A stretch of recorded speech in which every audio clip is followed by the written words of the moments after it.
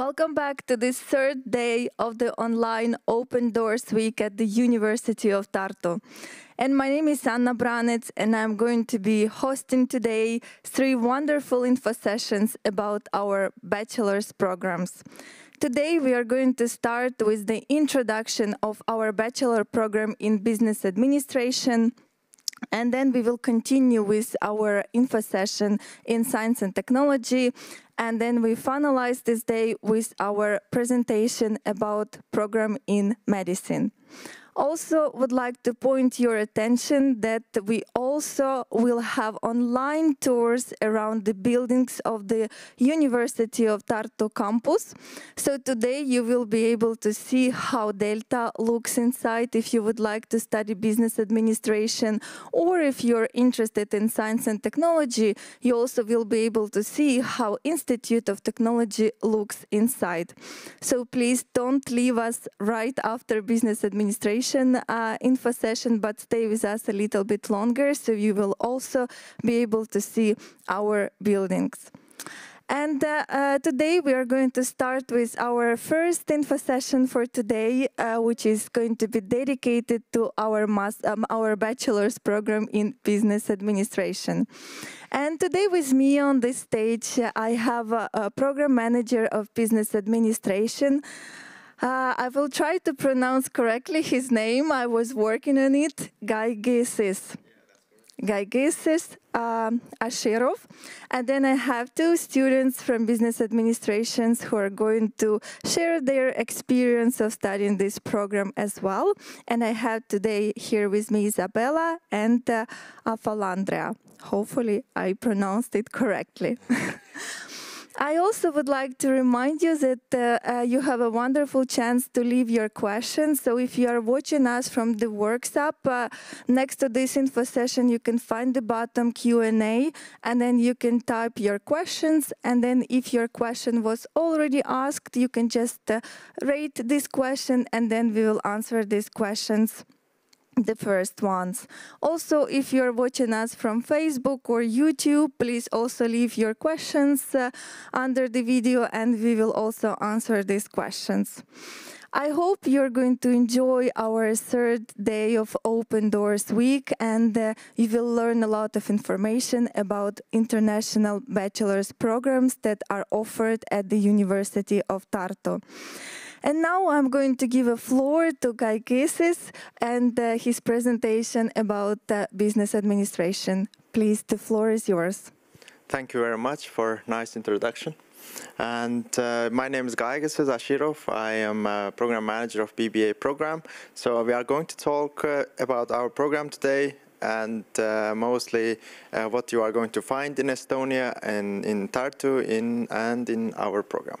So now, very quickly, I want to say that our uh, courses and curriculum are divided into four different uh, groups. So you will have some mandatory courses. These are fundamentals of business, business environment and management related courses. And you will have to select some specialty modules.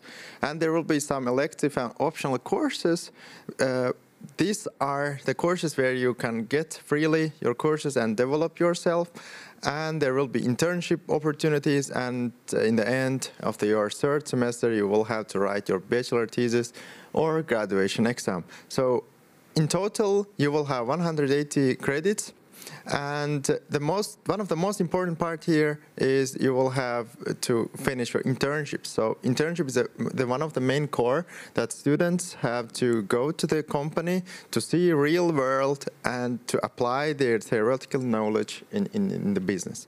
So these are the part and the courses that you are going to get in our in our school that is a business law or let's say business ethics, human resources, global economy, these are the courses actually will shape your theoretical knowledge that you may implement in, in the practical world.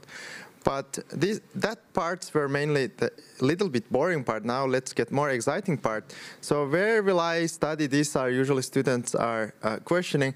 You are going to study where we are going to have this uh, the video session, which is we call it Delta building. So Delta building is uh, located in the heart of the city, uh, near to the river, in front of the uh, the dorm and in front of the uh, supermarket. So so you will have a quite nice view, and in a very most uh, developed, technologically advanced building. So this building, uh, my personal experience is I have studied in, in also in this uh, university, I have changed three different buildings. And uh, this is the last one and the most advanced one. I haven't had this experience as a student here, but as a worker, this is one of the most advanced one. I will, I will uh, ensure you that this is the best one. And uh, 28, almost 28 meters square of net space. This is a vast environment actually. And now you will see why it is a vast and big. So the you know the delta building is actually means for a change in Greek, but it also means that it has three corners uh, and it unites university, industry, and government. So what, what are the university side faculties are located here, University of Computer Science, Mathematics, School of Economics and Business Administration, where we are belong to, and the Technology and Center for Entrepreneurship and Innovation. But when we look to the industry side, we have Swedbank, Cybernetica, Statistics, uh, Estonia, SEB and many other uh, the uh, companies.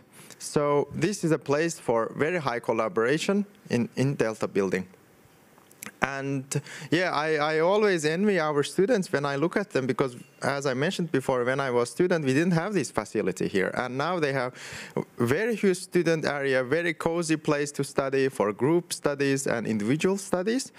And they have uh, different laboratories. They have even their own coffee machine and uh, dishwashing machine. And we didn't have this.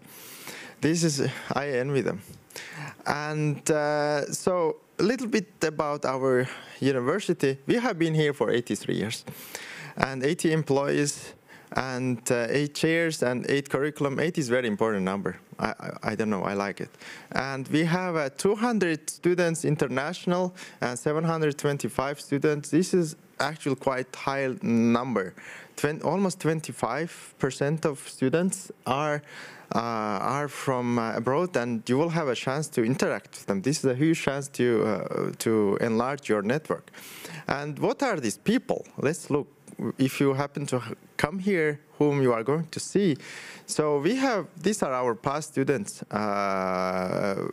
These are from different buildings. So the last one is from Delta building, but others from previous buildings. And they are coming from different uh, countries.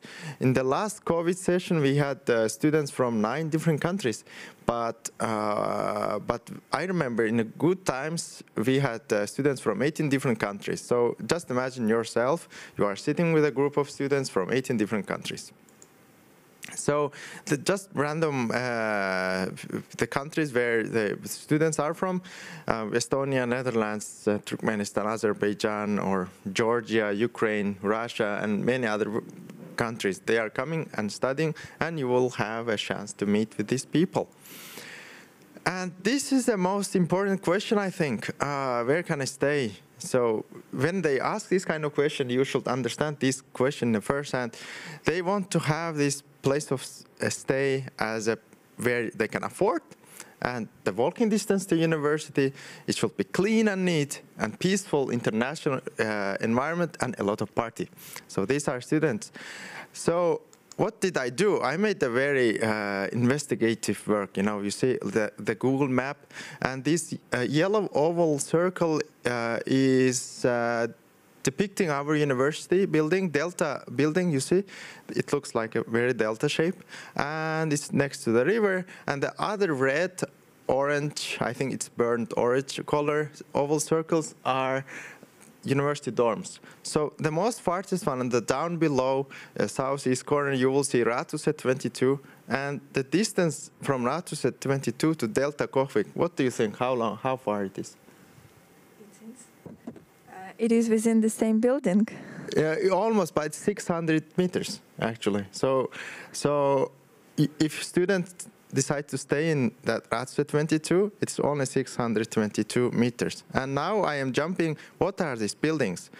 So this is Ratsuet 22. It uh, I spent my one year as well when I was student there, and uh, one place uh, in a twin room cost only 117 euros. Quite affordable when you consider the uh, the the places in, in Estonia and it has a lot of different facilities inside and other uh, benefits so in general, you will have uh, three twin rooms in apartment. Tenants share kitchen, bathroom, and toilets, and they have a place to play table tennis, very huge environment and nice cozy place. And this is dominated by mainly international students.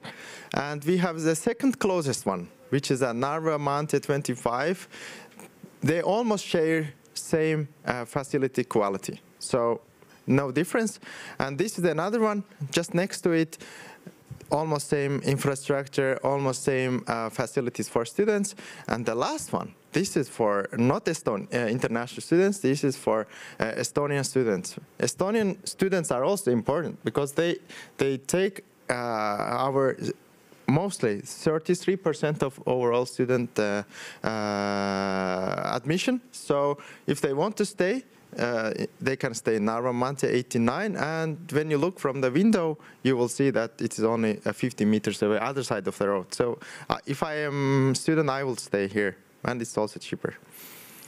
And uh, if you think that studying is a bit boring overwhelming in a very cloudy Estonia so you may do many different activities. So I, there are many actually, but I, I, have written, you can read myself, uh, two Delta Trends Day and uh, Delta Economics Conference, Delta Career Day, Delta X, and so on.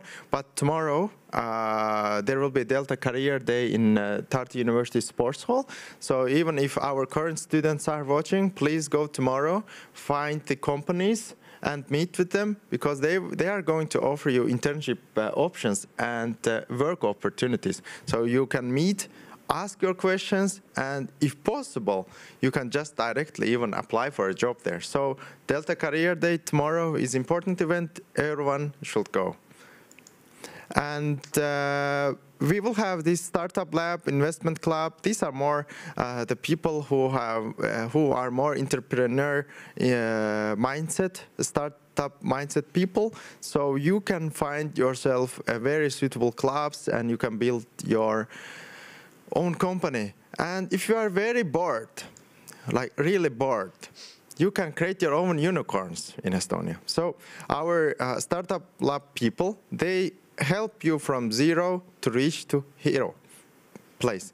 And uh, Estonia is quite famous for the unicorns. So why not to create your own uh, unicorn when you have free time? Of course, probably, I'm not sure whether you will have free time.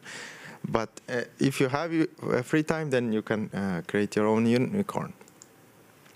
And if you think that, okay, I'm not a unicorn person, you want to develop your own uh, physical and mental health and cultural uh, uh, activeness, so you can go to the swimming pools, sports halls, museums, of course, and they are, all of them are providing student discounts. So you, you don't need to worry about much this uh, cost of these uh, places.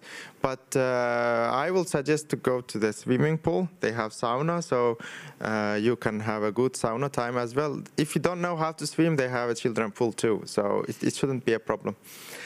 And uh, after graduation, what to do? Uh, this even I was I was asked by my uh, parents too, what would you be after graduation?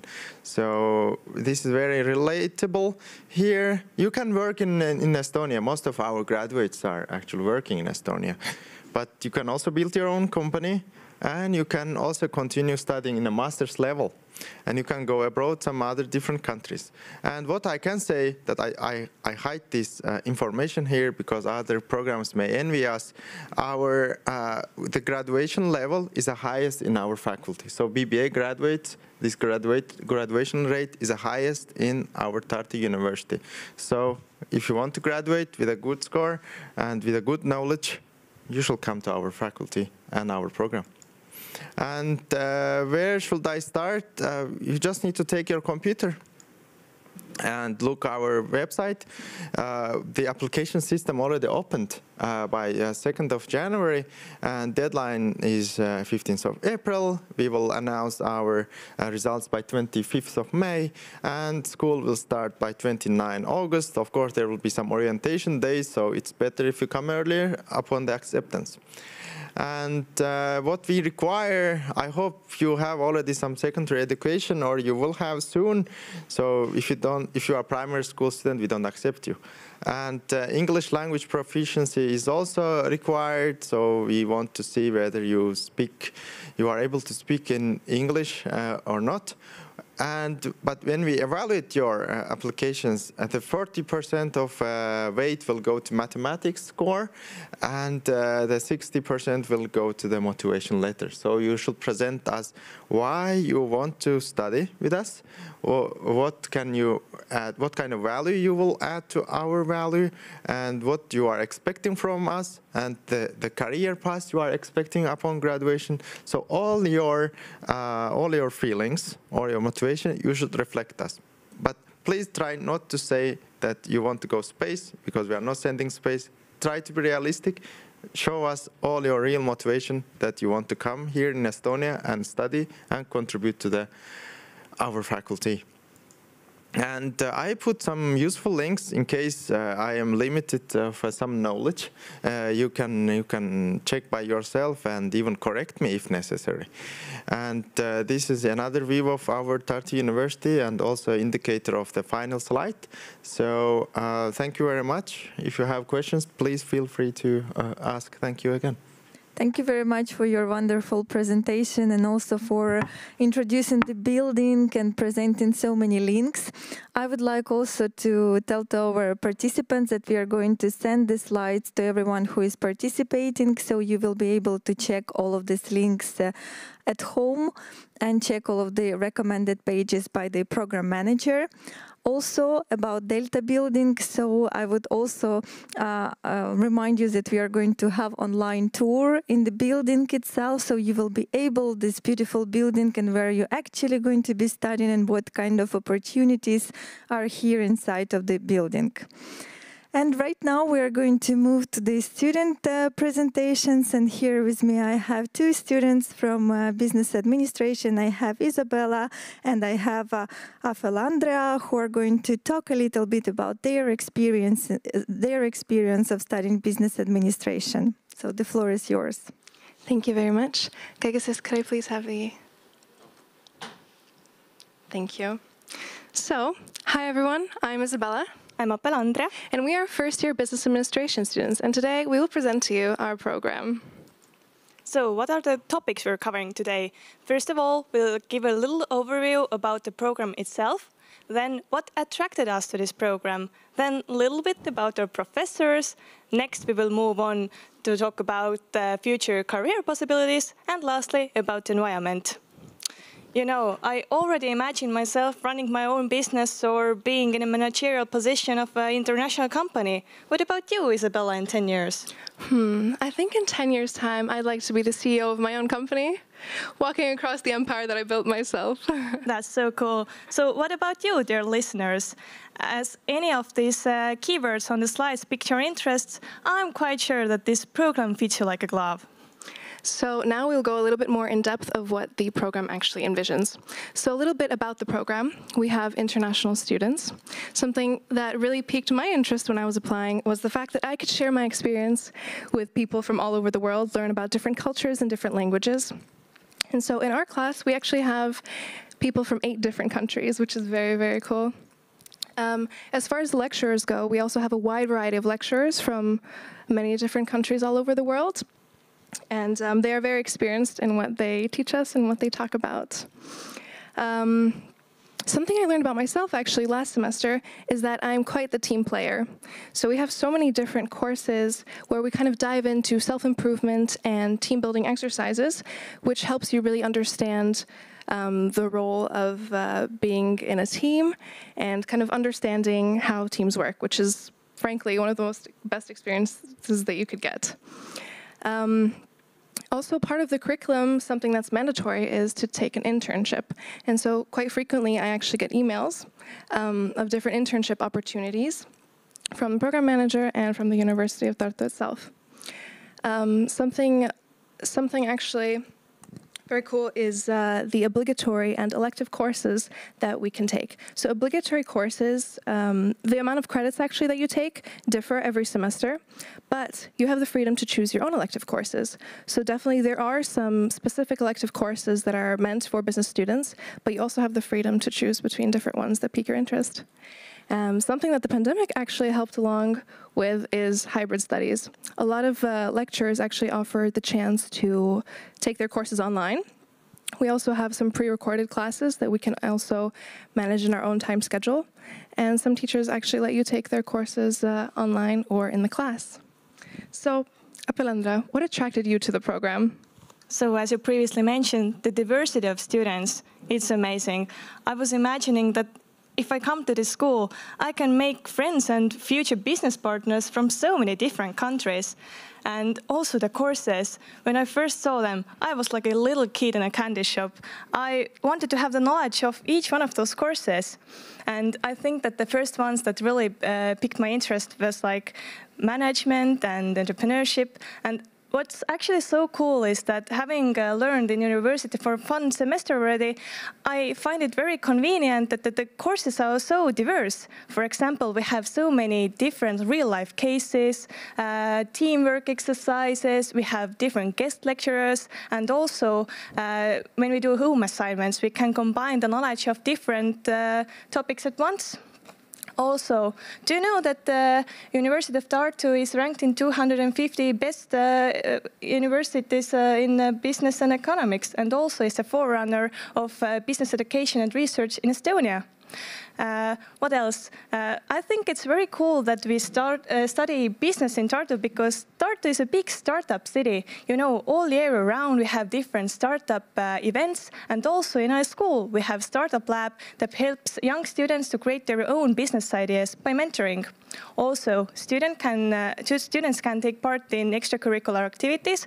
Myself, I'm uh, taking part in uh, investments club, but also I know that many students actually like uh, marketing club a lot. Mm -hmm. So now diving into the skills that you can acquire um, while learning business administration. So we're talking about finance, talking about business, relations, and economy. We have multiple courses on finance, like corporate finance, accounting, and banking, which helps us kind of understand how money works and how to manage your own money. For business, we have different classes, like Apelendra mentioned, principles of entrepreneur, um, entrepreneurship and uh, principles of management. In economy, we have classes ranging from microeconomics to macroeconomics. We also had a class called quantitative methods in economics. And um, as far as relations go, I think the whole diversity in our class, having people from eight different countries, learning how to communicate with different people and cultures, also having classes like business communication, really helps us with the relations side of it. So, a little bit about the people who are behind this magic. Uh, I will first of all bring out Anna Reino, who is the new head of economics and business administration, but also Gaygysyz Ashyrov, Andres Kuusik, and Kristian Pentus, who we've had so many great lectures already together. And I really look forward for the next ones. So next we're going to dive into the future possibilities after acquiring a bachelor's and master's in business administration. So we're talking about data scientist, project manager, financial marketer, investment banker, blockchain expert, HR manager, digital marketer, and all of them that you could see over here. Um, uh, motivational speaker Patrick David actually said that it is the easiest time in the history of mankind to become a millionaire today. And let's not even talk about how easy it is to start your own company. So I think there's so many opportunities out there that are just at the reach of your hand that it's very important to grasp onto. And little emphasis of the building again, you know that we're studying in this beautiful Delta management building that is located on the edge of uh, River Emajõgi. And one of the things that students really like about this building that actually on the second floor we have those honeycombs where we can uh, make uh, group projects and really feel professional and make the magic happen. And also, do you know, Isabella, or even remember that we have actually sauna and grill at school, and also on the rooftop we have swings. I actually remember when we used to hang out with our class up there on the swings on the roof. That was so fun. Yeah, that's true. And to make this uh, uh, picture more vivid to you, here's the picture of our class actually. Uh, we started last uh, semester together. It's the picture taken in 1st September, basically. And actually, you can see that the two other pictures are taken quite recently, one on uh, uh, Valentine's Day, another one somewhere in the winter. And actually, we spent time also together outside school time. And I think it's very important to have such good friends. And that ends it all. Thank you very much for your attention, and hopefully we will see you next year in Tartu. Thank you. Thank you very much for so interactive and nice presentation, also showing all the pictures and all of your uh, emotions and uh, your experience studying business administration. Thank you very much. We also received uh, some questions, so I guess it's uh, time to open our Q&A session and actually take the questions from our participants uh, and answer them. Uh, so we have some questions that are related to admission process. Uh, so probably I will ask uh, Gaygysyz as uh, uh, you're the program manager. So basically the first question, what, are, what is the admission criteria for business administration? So uh, we will we have two primary uh, admission criteria is the mathematics and motivation letter. I have already mentioned this.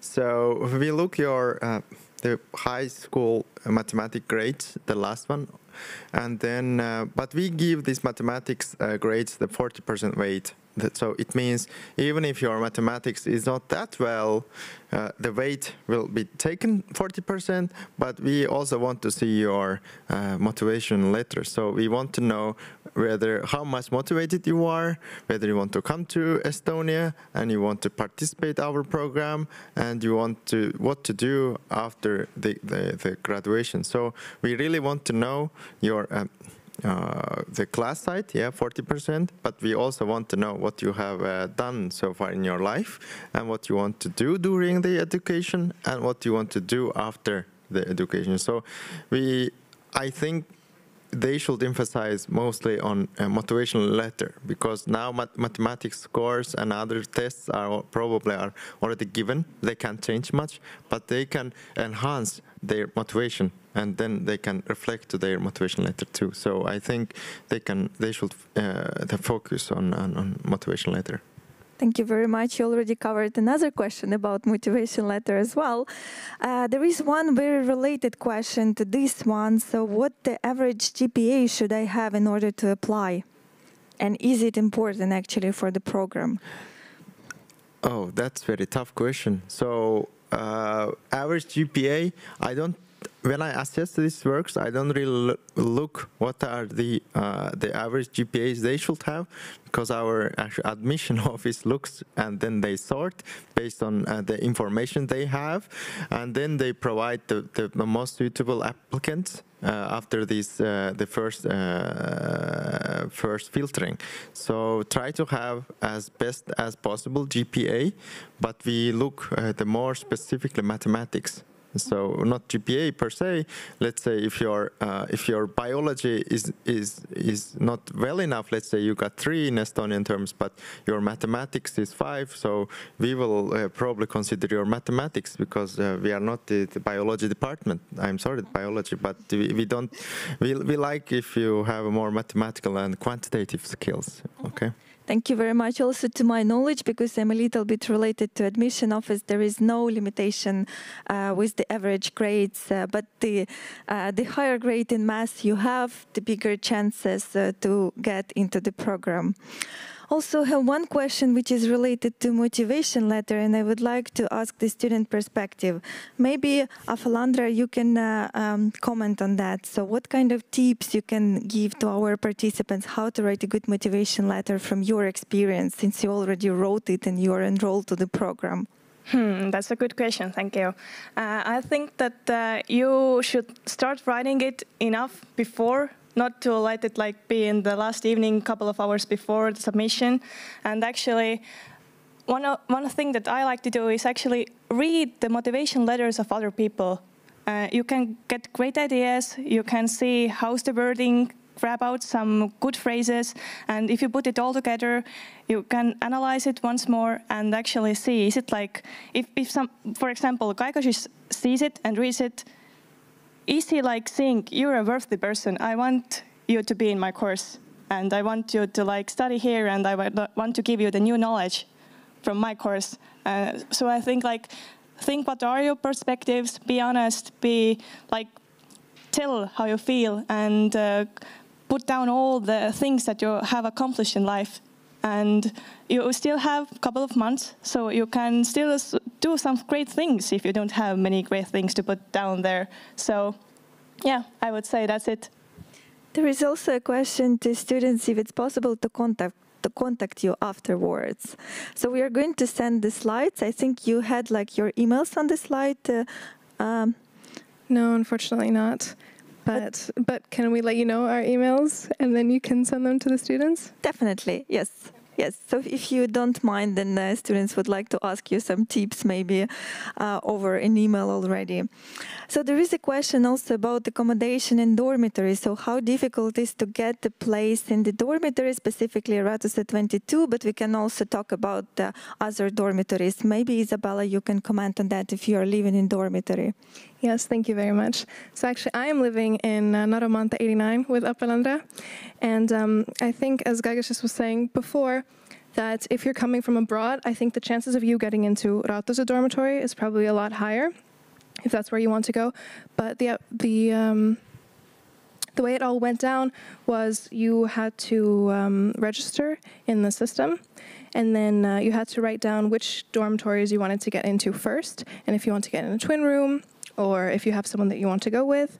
But uh, it's not that difficult of a process, so it's pretty easy and it goes fast. And, and in addition, I have shown the pictures only three but these are the ones, no, not three, four. These are the ones are in 600 meters uh, radius.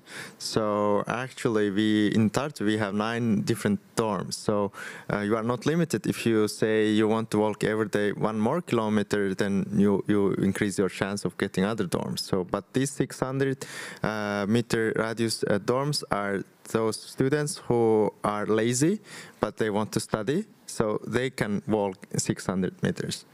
I guess also it is worth to mention that we have city bikes in the in the city, so you can also rent out the bike, or you can just get yourself a bike, and you can also uh, cycle this one kilometer. So it's not a problem because everything can, is very much reachable in the uh, in the city.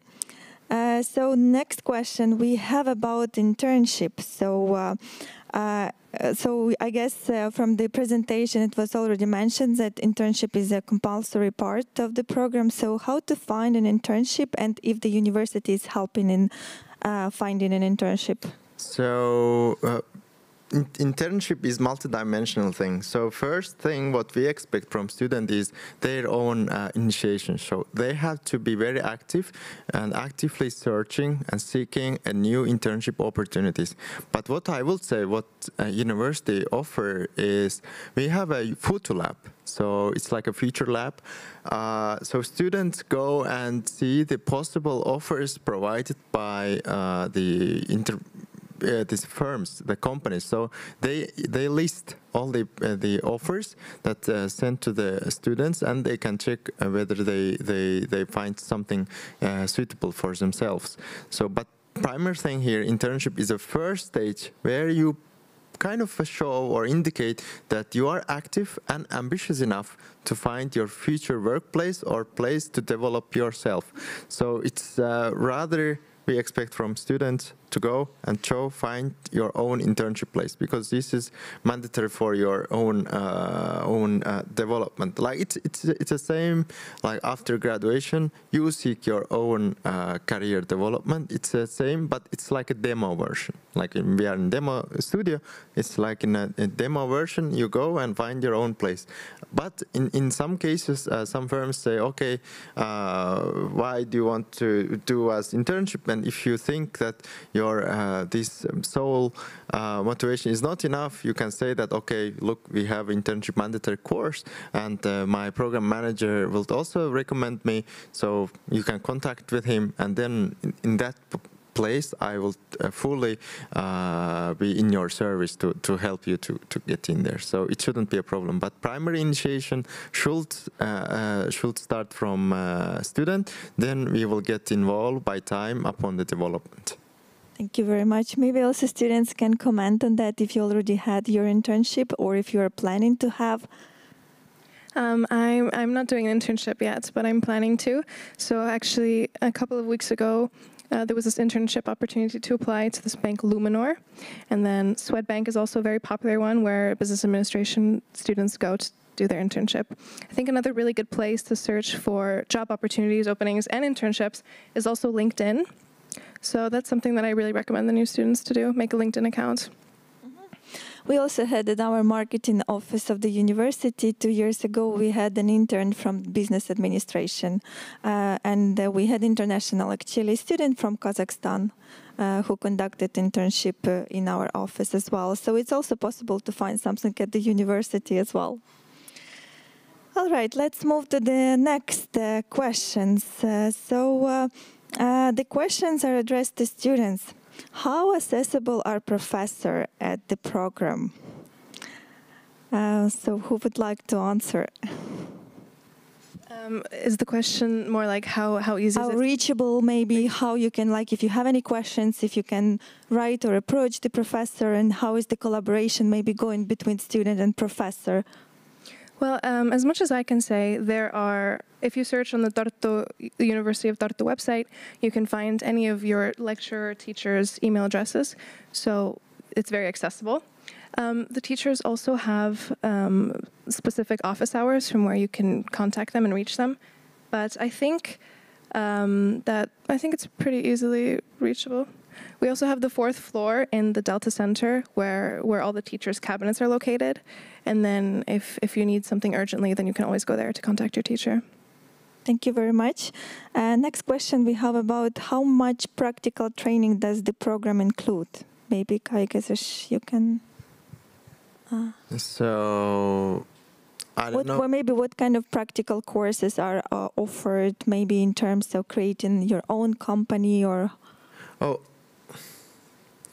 this is also again uh, dependent on a student, but uh, primarily uh, we we want to deliver these uh, theoretical uh, works, uh, theoretical courses, theoretical knowledge to to students. But the first steps, very tiny baby steps of a practical work, is actually covered in the courses. So mm -hmm. the one thing overall, our I think university universities doing these kind of things, the teamwork so the teamwork is actually a main component of uh, practical world, and the most of courses have uh, have uh, delivered the tasks to students which require a teamwork. So if you're able to develop your basic skills in teamwork, like coordination, collaboration with other people to do specific part of the task, then you will be you will be almost ready to go into the practical world. But the, the most direct, uh, the, the linked course is, I think, internship.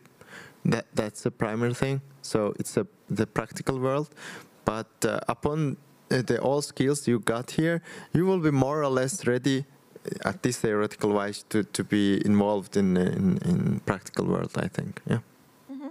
Thank you very much. Uh, uh, yes, we have another question which is also related to courses. So, are the courses more uh, lecture-based or discussion-based?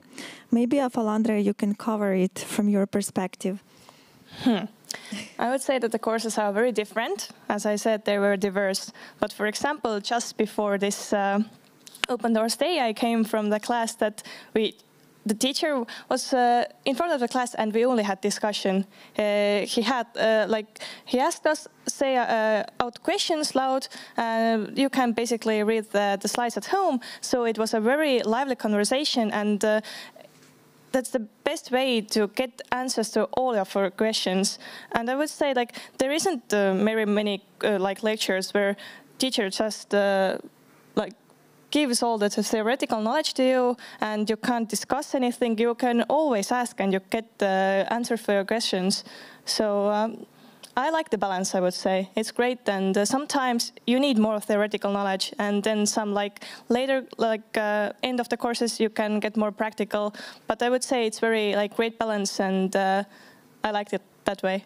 Thank you very much. It's good to have a balance. Uh, so next question we have about uh, age limitations. So what is the maximum age to get into the program? No. I can say first sentence we don't have age limitation, but uh, but to be uh, realistic, uh, I'm not sure whether it's a good idea to start my program when you reach 40, 50, age of 50, because you already have your own business and so on. And there is, a, I don't know. I think there is no age limitation, but uh, to be realistic, uh, our uh, our most of candidates are applying, let's say, under 25. Uh, average age maybe 20. So you can consider based on that. Yeah. Okay, we have another uh, question about competition. So, how high is the competition and how difficult is to get a study spot? Oh, competition is quite high, I think, because uh, every year around we receive 200 uh, application and uh, only 25 of them end up here. So, uh, how many percent? So you can just You can one, one in a 10. Uh, so it's it's quite high, I will say. Thank you very much. There is also a question about scholarship in the air. Is the uh, program offers any? Uh, uh, does the program offer any scholarships? Yes, we offer tuition fee uh, option. So upon the uh, application and assessment, we we check the best candidates, and uh, we have five tuition fee favor uh, places. So only best five applicants. Uh, among these uh, applicants will get uh, free uh, free seats. It means they will uh, their all school uh, related costs are uh, covered, so they will study for free. And we don't really take into account their nationality, nothing. So based on totally merit-based five places for studying free. Yeah, and the rest of them will be paying the the the tuition fee. Thank you very much. Uh, there is another question about the average cost of living in Estonia. So maybe Isabella, you can comment on that. How much, uh, for example, in average student need per month uh, in order to be able to live in Tartu? So um, the dormitories are quite cheap actually over here, depending on which one you get into. But let's see, um, without taking into account any of the school fees, let's say if they get the tuition fee, then maybe maybe like a good start would be like 500 euros a month, maybe even less. I think it depends on which dormitory that you live in, or or you know if you want to have a social life and go out and do some fun activities, then I think it can completely range from like 400 to 700, 800 maybe. Yeah, I have actually calculated this cost and wanted to share on the slides, but I, I didn't. And uh, based on my calculations, 400 to 450 is in average. Of course, this uh, calculation also includes your 10 to 15 euros uh, euro spending in pub uh, once twice a week and your uh, sports gym uh, expenditures and museum visits and many other expenses, including your accommodation and food. So 400 to 450 is uh, average budget, I think, for uh, for a student. But of course, it depends on uh, on your uh, taste. If you have more money, then you spend more money. That's it. Yeah, that probably depends on each uh, person individually. So, how much you're going out, how much you cook at home, maybe, and how much you prefer to uh, have some to, to participate in different events or uh, pubs, for example, live. Uh, so yes, uh, we have another questions, a question that is a bit uh, personal, but let's uh, try to answer it as well. My high school math is average, but in the years between, I have advanced more than high school math because I love to learn. I am 34 years old now. How else can I demonstrate my math skills so as not to reduce my chances of being accepted? I guess is maybe you can suggest something. So, so math skills. math uh, skills are, are low, but uh, there is uh, um, development during this uh, year. So how else uh, our applicant can can basically prove um, that. Uh, uh, so one thing I think. Uh, uh, of course, we will look his uh, the high school grades, which was I think 20 years ago, of upon because he's 30 yes, something. Yeah. So yes. uh, in 20 years, so much things have changed in in mathematics world and overall education. And what I will suggest is to take some international exams, like some kind of SAT-related test or any kind of a test that proves that uh, he has acquired or he has some kind of uh, mathematical quantitative skills, which is uh, sufficient enough to study with us. But uh, in that kind of, uh, we have to also consider his age. So it's better you take some kind of international exam and then uh, prove us that, okay, despite your mathematics grade in the school was uh, uh, not very high and you want to add additional uh, support, then I think for not only for this student, for all students, if they think that mathematics um, score or grade was low due to the, some interesting facts or some reasons, maybe they were sick, uh, they can get some international exam and send us, and then we will of course definitely consider. So any kind of extra document that uh, that eh, that enhance the uh, quality of application are welcome. We, we don't really limit. And uh, not only mathematics, for example, if they have done something um, uh, extra curriculum, some uh, activism, like more uh, more active things, conference participation or extra uh, certificates related to extra self-development courses, they should also include them because we are looking for uh, very developed candidates. Mm -hmm. Thank you very much for your answer. Uh, we have some questions like uh, after graduation. I would call them this, uh, uh give them this title. So uh, uh, one question is, after graduating business administration, what master's program can I study? Maybe Gaygysyz, you can suggest. It depends again what you want to do because we don't really form a student because our aim is not to form. We make them to feel that they can form themselves.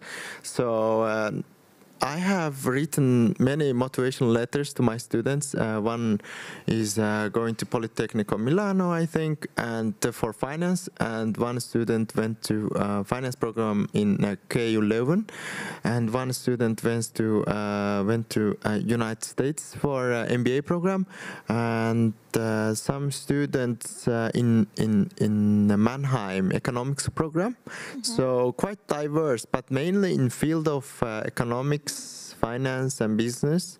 I guess the question was uh, in terms of University of Tartu.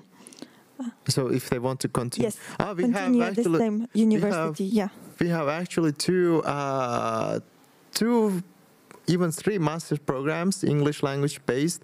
Uh, two of them are highly correlated with uh, with uh, economics program, which is quantitative economics and uh, information technology management, and I know uh, I have written also some motivation letter to our students to participate our uh, school uh, program ITM, so International uh, Information Technology Management, which is quite good because you may have uh, uh, good, you may gain some knowledge and skills which makes you to be ready in startup world and IT world as well, and how to manage this kind of thing.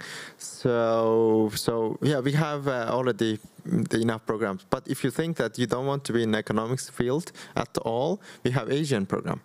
So they can continue more in, in, in political and the Asian-related studies, which is it's very uh, niche and unique for Estonia. That the University of Tartu offers uh, some studies for specifically Asian countries, uh, which is very important these days. So it's it's up to their taste, but they can apply all these uh, programs, I think. But I don't really uh, uh, guarantee for a successful application for analytics chemistry program because it's totally irrelevant. So for our program, they have a high chance to continue.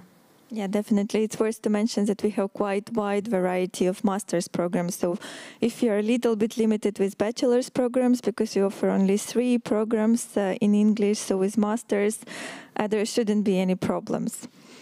Uh, so within this topic, I have a question about Estonian language. So how difficult is Estonian? Would you recommend to study Estonian? And is Estonian necessary in the future to find a job? So uh, I can I can uh, answer partially, but I my the students are also better speaker than I am. So uh, I have arrived here like a, almost eight years ago to Estonia, and uh, in eight years uh, I developed my Estonian and uh, Estonian language is quite helpful because it's a national language here. And uh, in, in work, uh, many places, uh, some international companies don't really ask Estonian, but some companies see as an asset. So if you want to have a great advantage over other international candidates, it's better to learn during your studies uh, Estonian uh, because our university provides Estonian courses quite very well actually, and you will have a chance to to develop it uh, through practice with your uh, the colleagues. But Estonian language is uh, is I think uh, quite important. But if you don't know this language, you will I think by by time learn. Even if you are uh, if you haven't uh, put enough effort and and spend time on it, then some companies, international companies, they may offer fully English language based job possibilities in Estonia. Thank you very much. Do you have anything to add, or we can move to another question?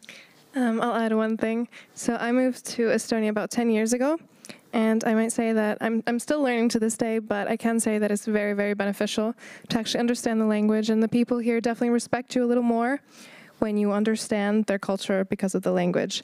And I mean, it's not that hard to start. And the programs are very good that offer, offer the Estonian course, so I definitely recommend it. I guess it's also worth to mention that there are different languages that can be taken for free during studying the program. So you can take Estonian or any other language at any level at the university. So as long as you can manage to deal with your curriculum and then you can take additional classes as well. Uh, we have one uh, question which is related to the previous one. I need additional clarification on the answer for my first question. I'm 34 years old now. What are my chances of admission in the program? Oh, as I as I told, we don't really limit people by age. So please feel free to uh, apply and uh, see what are your chances. I can't say I can't really uh, discriminate you or I can't really give you a privilege because of your age, you know. So so it's all up to your motivation letter and your grades and the, the if that's the same person, the other documents that prove your mathematics is quite contemporary and still uh, strong for uh, for this uh, program. Mm-hmm. Next question. Hello, I'm from Ghana. I completed high school last year in October, and my certificate is not out yet because it's going to take a very long time. Can I apply with my results? Uh, I mean, results is transcript. I think what he meant. Yeah, it's uh, it's probably possible if university give yeah sorry if if, if school gives uh, with a certain um, certain uh, the stamps and a certain approval uh, but uh, these kind of more technical validity of document thing should be asked to admission office yes. I am not in the position to say and I don't want to overwrite and overrule their thing so it's better to ask them yeah Yes, we would recommend you to just email our admission office, and the email is admissions at uh, ut.e. So you can just email them directly with your documents and just make sure that uh, everything is fine. So unfortunately, we're out of time and we tried to answer as many questions as we could. Uh, but uh, if you have any questions left, uh, you're going to receive the slides and you can also email separately our program manager, manager and also our students and then they will answer you uh, your questions. I hope you enjoyed our first info session today and I hope you are going to apply to business administration and don't forget about the application deadline which is 15th of April and we are looking forward to receive uh, your application and uh, maybe see you next uh, academic year. Thank you for being with us and stay with us for the next uh, info session.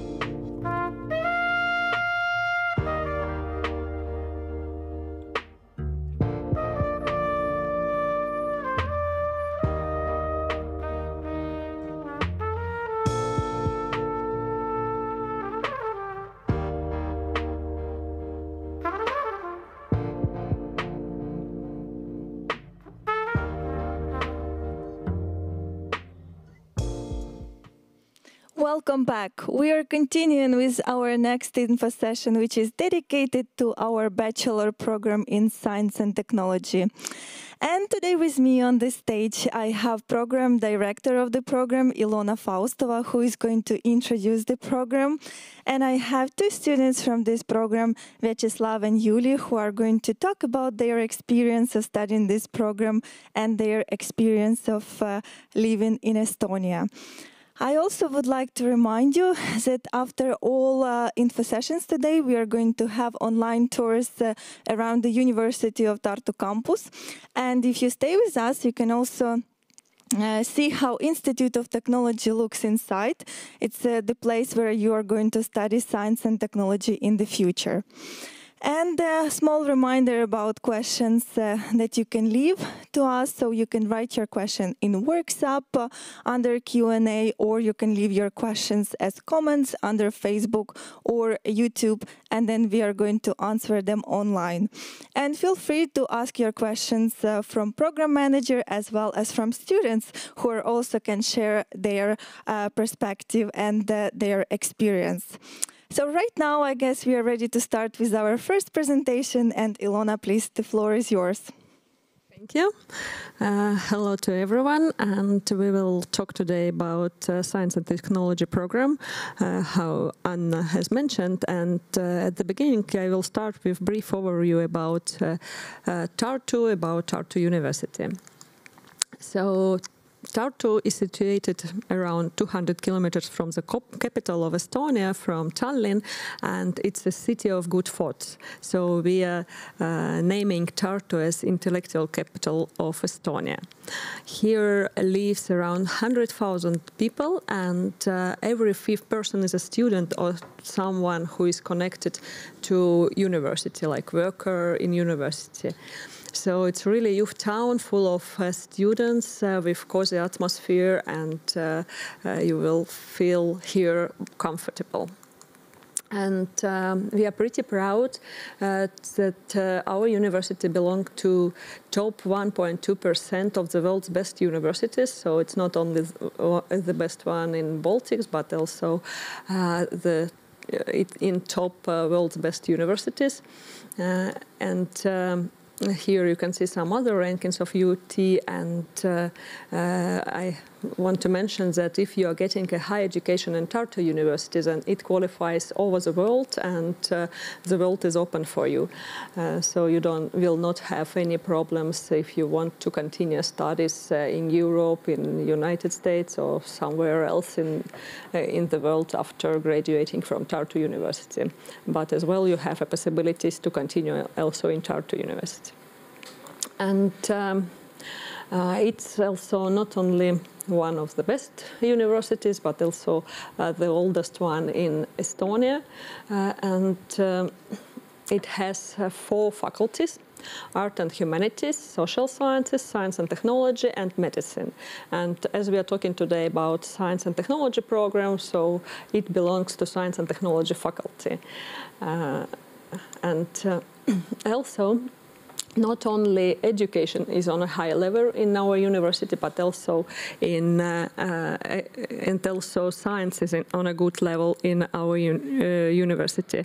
So we can say that, uh, for example, 54 UT scientists belongs to the top 1% of the most cited scientists in the world. And uh, so if you're interested not only in education, but also to do science, it's also a very good place to do that. And um, if you haven't been uh, in Estonia, in Tartu, and want to get to know how it, the town look like, you can visit our virtual tour uh, on our website and get familiar to our university, our town. Uh, but you can see already from the pictures that it's full of the buildings of university, which again shows that it's a really university city. And now let's talk uh, more about program, science and technology program, bachelor's program. And uh, it uh, can, uh, provides a broad overview of natural and exact sciences and technologies, and it has three specializations. It's bioengineering and robotics, it's uh, uh, chemistry and material sciences, and also genetics and biotechnology. And uh, when you are entering uh, the program, then at the beginning you're entering science and technology program, and only after three semesters, one and a half year, you specialize in one or another specialization. so why to choose science and technology? So this uh, uh, one, what I just mentioned, is one of the advantages also of the program, because that you uh, entering at the beginning just uh, science and technology, and only after one and a half year you specializing in uh, one of the specializations.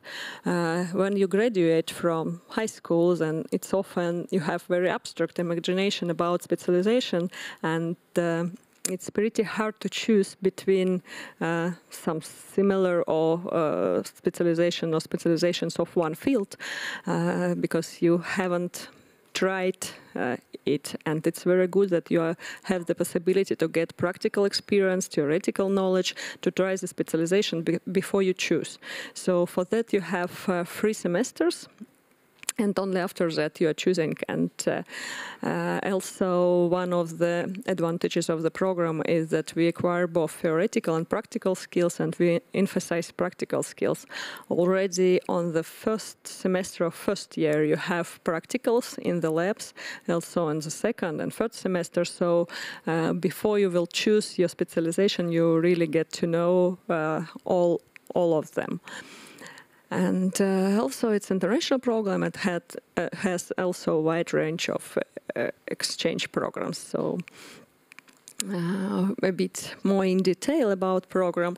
It has different models, uh, what you can see just now on the screen, uh, but in spite that you study one and a half year the basics, it's still in total three years. So one and a half year of uh, basic uh, courses and then one and a half year of spe specialization courses. So it's uh, like the most all of the bachelor degree programs, three years and 180 uh, credits you have to gain to graduate, which makes 30 credits per semester. And at the end you have graduation thesis, not exam, but graduation thesis. Uh, just a bit more in detail about models. First, when you are entering uh, the program, you have to pass uh, such a very general but uh, basics, uh, what you will need in spite uh, uh, on the specialization you will choose in the future. For example, chemistry, math, programming, physics, biology, all these courses and all this knowledge you need in spite on the specialization which will be chosen in future. So you're studying three semesters with these uh, courses. Uh, also uh, doing practicals in different uh, fields. Uh, as I told you already on the first year, first semester, you have such a practical like introductory laboratory course. It uh, uh, it is going in four different institutes in Tartu University, four different institutes, an Institute of Physics, Institute of Chemistry, Institute of uh, Technology, and Institute of Molecular Biology. So, and the additional possibility what you have uh, uh, to do more, better choice of your specialization and to do practicals it's uh, course laboratory projects. It's not compulsory one, it's elective one, but uh, it's already on this second semester of first year and we really recommend to take to uh, everyone the course because you will do three projects from different fields. You will do three projects, one from bioengineering and robotics, another one in chemistry and material sciences, and the third one from genetics and biotechnology. So you will uh, get familiar not only with specializations, you will get familiar with uh, institutes, different institutes, different research groups. So it will also make easier to choose not only specialization but also uh, which uh, uh, research group to choose to write the bachelor thesis. so usually uh, we have uh, got a very positive feedback of this uh, course. So after you are passing three semesters and uh, all these practicals and everything, you specialize after one and a half year. And for example, if you have uh, chosen the bioengineering and robotics specializations, then you have to pass all these three models of courses. So uh, you cannot mix and match uh, different specialization models, uh, but you can take the courses from another one uh, specialization as electives. But to graduate, you have to pass all three models, additionally all three models of your specialization. So these are bioengineering and robotics specialization courses. If you chose uh, chemistry and material science specializations, then it's uh, this uh, uh, models of courses and um, uh, regarding uh, genetics and biotechnology specialization, uh, these courses. And you can see that uh, in specialization we also emphasize practical skills. There are a lot of practicals and uh, not only theoretical lectures, not only theoretical knowledge, but we also acquire it in, in practice. Additionally, you have to choose elective courses for 12 credits. Uh, it's uh, some list of the courses which is uh, connected to the field of science and technology. And additionally, you can take uh, you have to take optional courses. Uh, it's courses from the whole university, any courses of university that don't have to be connected to science and technology field. You can take philosophy, you can take languages, you can uh, take drawing classes, uh, whatever you, you want or whatever you are interested in. And at the end, everyone have to defend bachelor thesis. So it will end uh, in summer with bachelor thesis defense. Uh, there is no the final exam, but uh, thesis defense. And if you fulfill all these models, then you are granted with bachelor degree in science and technology. One additional advantage of the program, or at least we always say that it's a big advantage. It's uh, iGEM competition. It's also one of the courses in our program. It's elective courses, so it's volunteer. You can participate or not. But uh, we have team consist, uh, which consists of uh, only science and technology students. And uh, we participate in competition. iGEM is the largest worldwide synthetic biology competition. And the main goal is to take any uh, world problem and try to resolve it. So to offer uh, the option how we could uh, resolve the problem using synthetic biology. And every year we are uh, making new team and this team uh, participates in the competition. So uh, uh, here you can see from previous years our team pictures and you are doing you are getting a huge practical experience with the uh, participating in the team. You get uh, a lot of skills and knowledge which are very valuable in your specialization and uh, what you will need in your future studies and in future research works or in life. So and it's not only about uh, scientific skills but skills in labs, but also uh, different um, communication and different soft skills are needed for this competition. We have to do different cooperations with another one teams. We have to ask advices from professors. We are contacting professors. We are creating a huge network, organizing events, uh, popularizing uh, science, uh, our project, and yeah, and for sure we are um, trying to resolve the one of the world's problem altogether. And uh, during the years, we have participated uh, pretty successfully in this competition. Our team has got three gold medals and two silver medals. But total, there are around 400 teams participating in this uh, uh competition. Besides um, iGEM, uh, to gain the uh, uh, experience abroad, you, you have also a lot of exchange opportunities in our university and in our program. So you can see uh, a lot of uh, partner universities all over the world. So if you have the interest to spend semester abroad, you also will have this opportunity. Uh, studying in our program. And uh, what we need, we need for applying to the program. If you're interested to apply, you can. Uh, you, we need official copy of your previous education, uh, also a proof of English. And uh, there are a lot of different international tests which qualifies. And uh, uh, when we are counting your admission point, then do we need the state exam result of final grade in mathematics, or, and also uh, biology, chemistry, or physics. So one of uh, the best, which is the best one, and also motivation letter.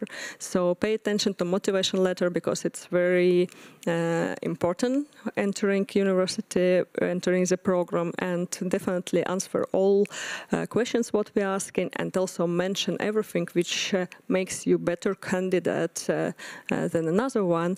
As for example, if you have participated in Olympiads or in victorines, or maybe you Uh, have done some kind of project related to the field. So all this include to the motivation letter for sure, because very often motivator, motivation letter decides are you in a program or, or not, are you getting the tuition waiver scholarship or not.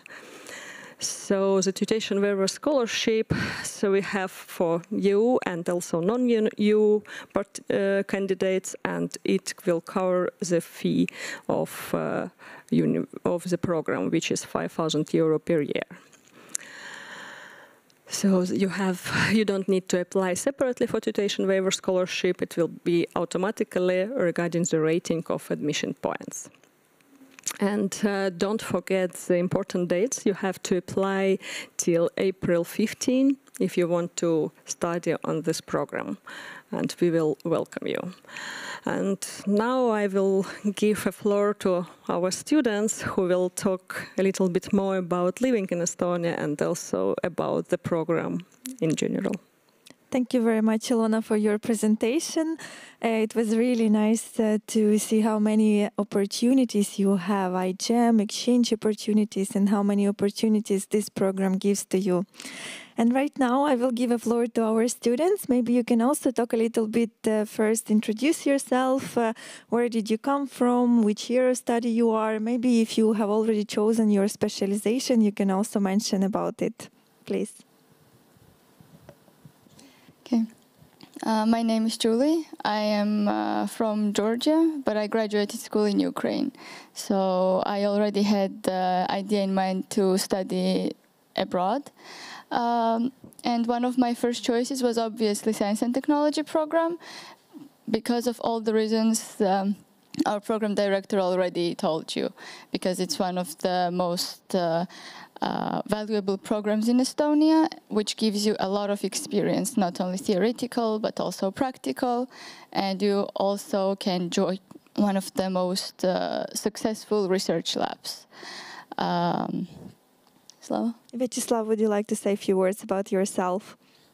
Yeah, of course. Uh, my name is Vyacheslav. I'm from uh, from Russia. I'm on the third year of this program. I'm, I will soon finish it. Uh, I chose this program because it allowed me an opportunity to look into multiple fields, and uh, it allowed me to make a more knowledge, knowledgeable choice about my future specialization.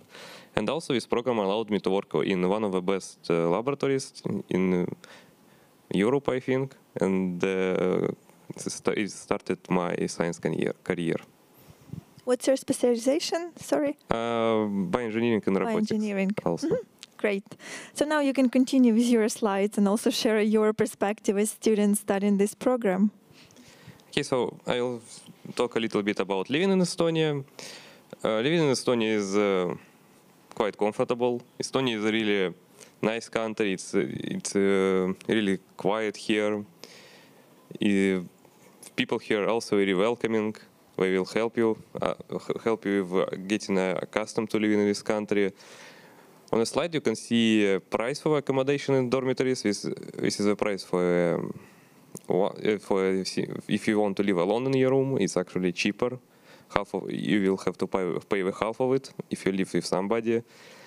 Accommodation is the rooms itself and the dormitories are pretty nice. Um, you meet really interesting people in the dormitories, and your neighbors are your neighbors can be every eh, pretty much from any country in the world. You can learn a, a lot about culture of their country, of their people, and it's an interesting experience. Also, sometimes before uh, hazing happens, well, unfortunately, last uh, two years it was also uh, not possible to organize it. Sometimes you will meet your course mates earlier than you go to actual meetings for uh, faculty or for your program. For example, one of my course mates was already my flatmate. So, yeah, this way you also are more um, in a better position to find friends and uh, someone like-minded as you. Which dormitory do you live in? Uh, I live in Narva 27. Uh, yeah. How difficult was to get a spot in the dormitory? Uh, it was actually pretty easy because uh, when I got my letter that I was already accepted to the program, uh, right after that I got following email regarding the accommodation, how I could apply. Everything was very well explained, and when I applied, in a matter of uh, probably a week or two, I already got the answer that I will be living in one room. Also, the instructions were also very clear how to get to your uh, uh, living, uh, how, how to get to your room and uh, what you needed to do. So, yeah, in case we had some questions, we were also always very welcome to ask anyone who was already living there or who was representative from uh, either university or even from our program. Thank you. And here in the picture, you can see our dormitory Raatuse 22, which is one of the most probably famous dormitories for international students. And we're also having a tour inside of the dormitory after our last info session. So you can also, will be able to see it uh, um, in the end of today's uh, day. And you can continue with your uh, slides. Here you can see the library of uh, University of Tartu.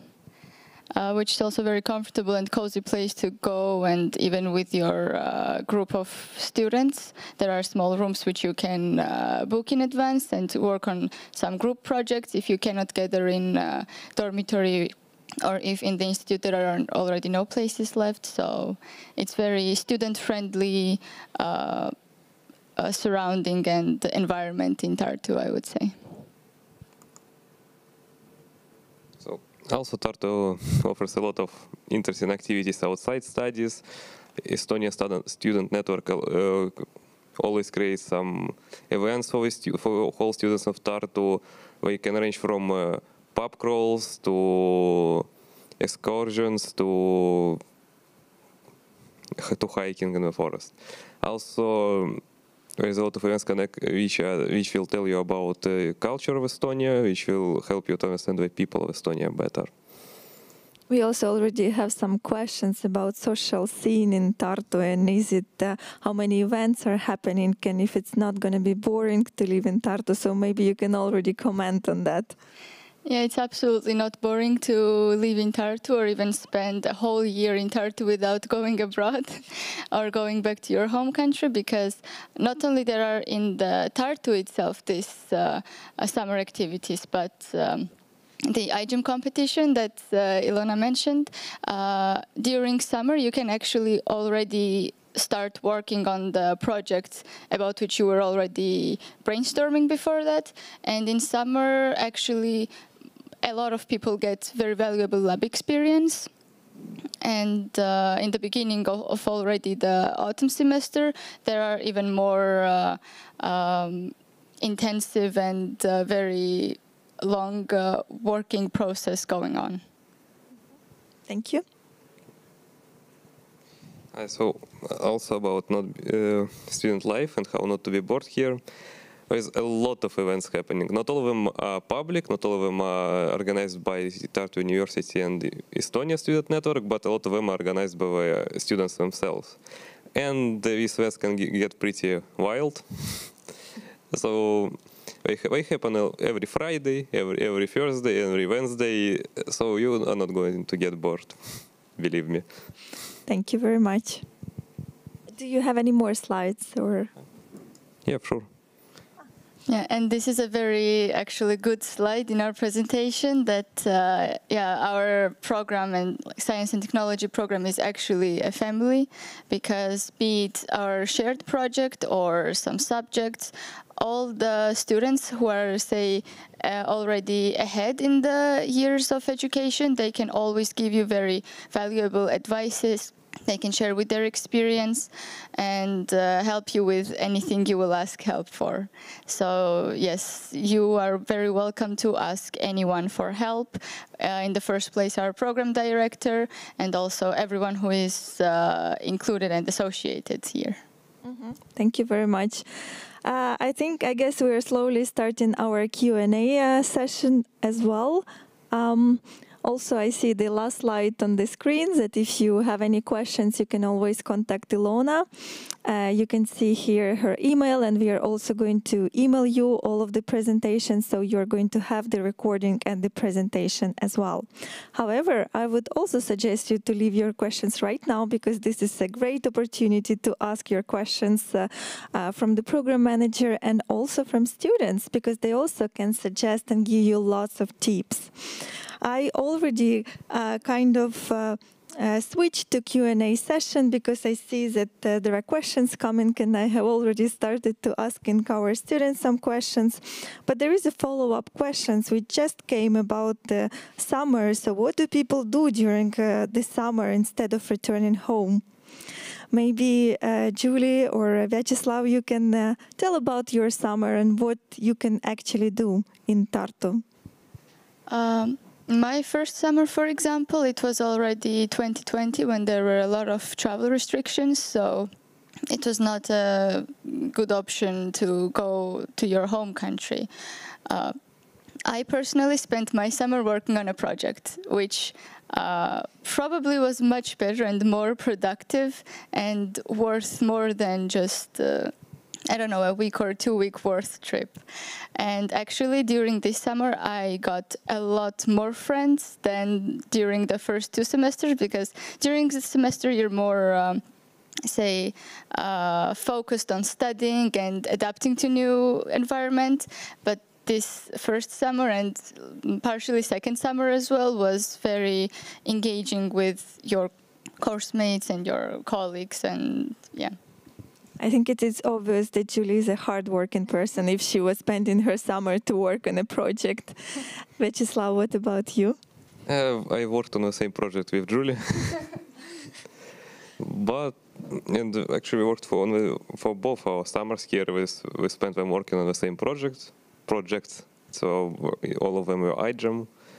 But if you're not a hardworking person and you want to relax, once again, a lot of students organize themselves. They have parties a lot of bars open. You can uh, visit uh, visit uh, Tallinn also if you want to. You can uh, travel around Estonia. You can visit beautiful Estonian uh, forests. There's a lot of uh, hiking roads in Estonia. Actually, if you're a fan of that, we, and they usually lead to pretty interesting places, places which show you the history and culture of Estonia we actually just received one question which is very related to what you just said. So, how is it possible to balance social life and studies? So, maybe you can shortly give some tips since you already started talking that you spent your summer working on a project. Vyacheslav, maybe you can uh, say a few words. Well, it's, it's, indeed a hard task to balance your work life and uh, and uh, just living in general. My tips are simple. Don't uh, overwork yourself. Remember what you have friends which which want to meet you. If we call you to a party, answer them. plan your workload in, in a way that you have some hours to spend on on your friends and family. That's basically it. So time management is important. Yeah, it's really important. All right, uh, let's get back to our other questions because there are questions about admissions, of course, as many applicants are really worried about their application process as well. So we have a question from the applicant. As a bachelor student, what are the options to continue working and earning through the degree? Can we choose optional courses from the science and technology uh, courses only? Um, regarding the optional courses, you can choose courses from whole university. You are not limited with your, with your choice. And about working, it's uh, again uh, the question uh, of balance because. Um, uh, probably, especially on the first year, it's pretty complicated to work and to study at the same time because uh, you are not only uh, focusing on the studies, but you're also adapting to the new atmosphere, to the new uh, regulations, rules, startings, everything is new for you because uh, you just graduated from high school and here it's already, the startings is a bit different, everything is different and also a country is different. So probably it, it would be a bit stressful for the first semester at least. But um, if you uh, in future can uh, be very good time manager and uh, uh, combine studies and work, then working is not prohibited. But work will be not excuse for not done exams or studies. So you cannot find an excuse. But one good possibility is uh, to start working in some kind of research lab, may lab maybe. It's not so easy to find maybe for the bachelor's level students, but still uh, pretty, I think a big even part of our students are at the same time working in the labs, uh, not starting from first year, but at least from the second year and getting some kind of stipends for that. Thank you very much. Uh, we have another question about iGEM. So many people probably got inspired by the opportunities um, which is provided. So how can I join iGEM team? Maybe yeah. Uh, start and then uh, yep. Julie can also comment on that afterwards. Yeah, uh, very easily. As you become a science and technology student, uh, then you everyone can apply to our uh, team. So we are taking everyone who wants to be a part of the uh, iGEM team and but the amount of work what we, you will spend in the team it's already also uh, related to you. So you can choose that just to participate a bit, uh, not to do the whole project, but uh, you also can be involved, totally involved. And like uh, Slava and uh, Julie told, they, for example, spent uh, two summers doing uh, iGEM projects, but it was not compulsory. So, but at some point it becomes your hobby and you get friends inside of the team and you are doing with your friends a project. So from one hand, it sounds like a job, like a work, and it's uh, actually a time consuming, and it's really uh, hard work as well, but uh, as it's uh, from the other side, it's already like community. It's a community of friends, and you're not only working uh, under the project, doing something what you like and what you want to do, but also uh, organizing events, spending time together. I don't know, drinking tea together, communicating and so on. Yep. Yeah, it seems like a, a, big job, but it's rewarding. Julie, would you like to say something? Um, probably I cannot add much to what already said, but uh, for example, in the team, there is a big variety of what you can do and with what you can contribute to the team.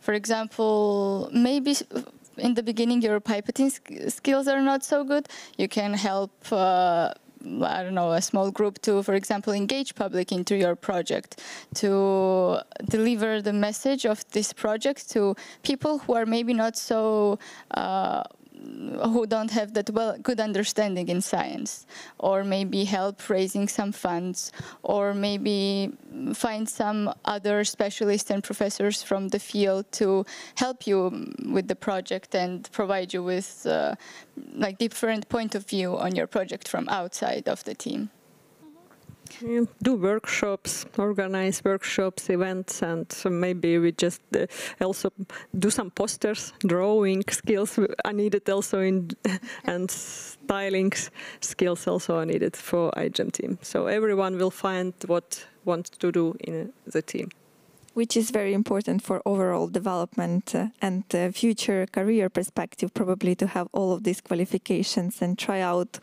and develop your skills. Yes, absolutely. But for example, also in already 2nd October, we also organized our own workshop, which was a scientific art exhibition and escape room, where we also had a lot of uh, first year students last year and this year as well, and not only from science and technology, but also master students who were very interested in what our team was doing, and uh, they were also very interested into the event itself. Thank you very much. Uh, we have a question about uh, uh, how accessible professors are at science and technology. Maybe Vyacheslav, you can comment on this question. For example, Ilona, if you can approach her or wor work with her, how is it going at your department, the collaboration between student and professor?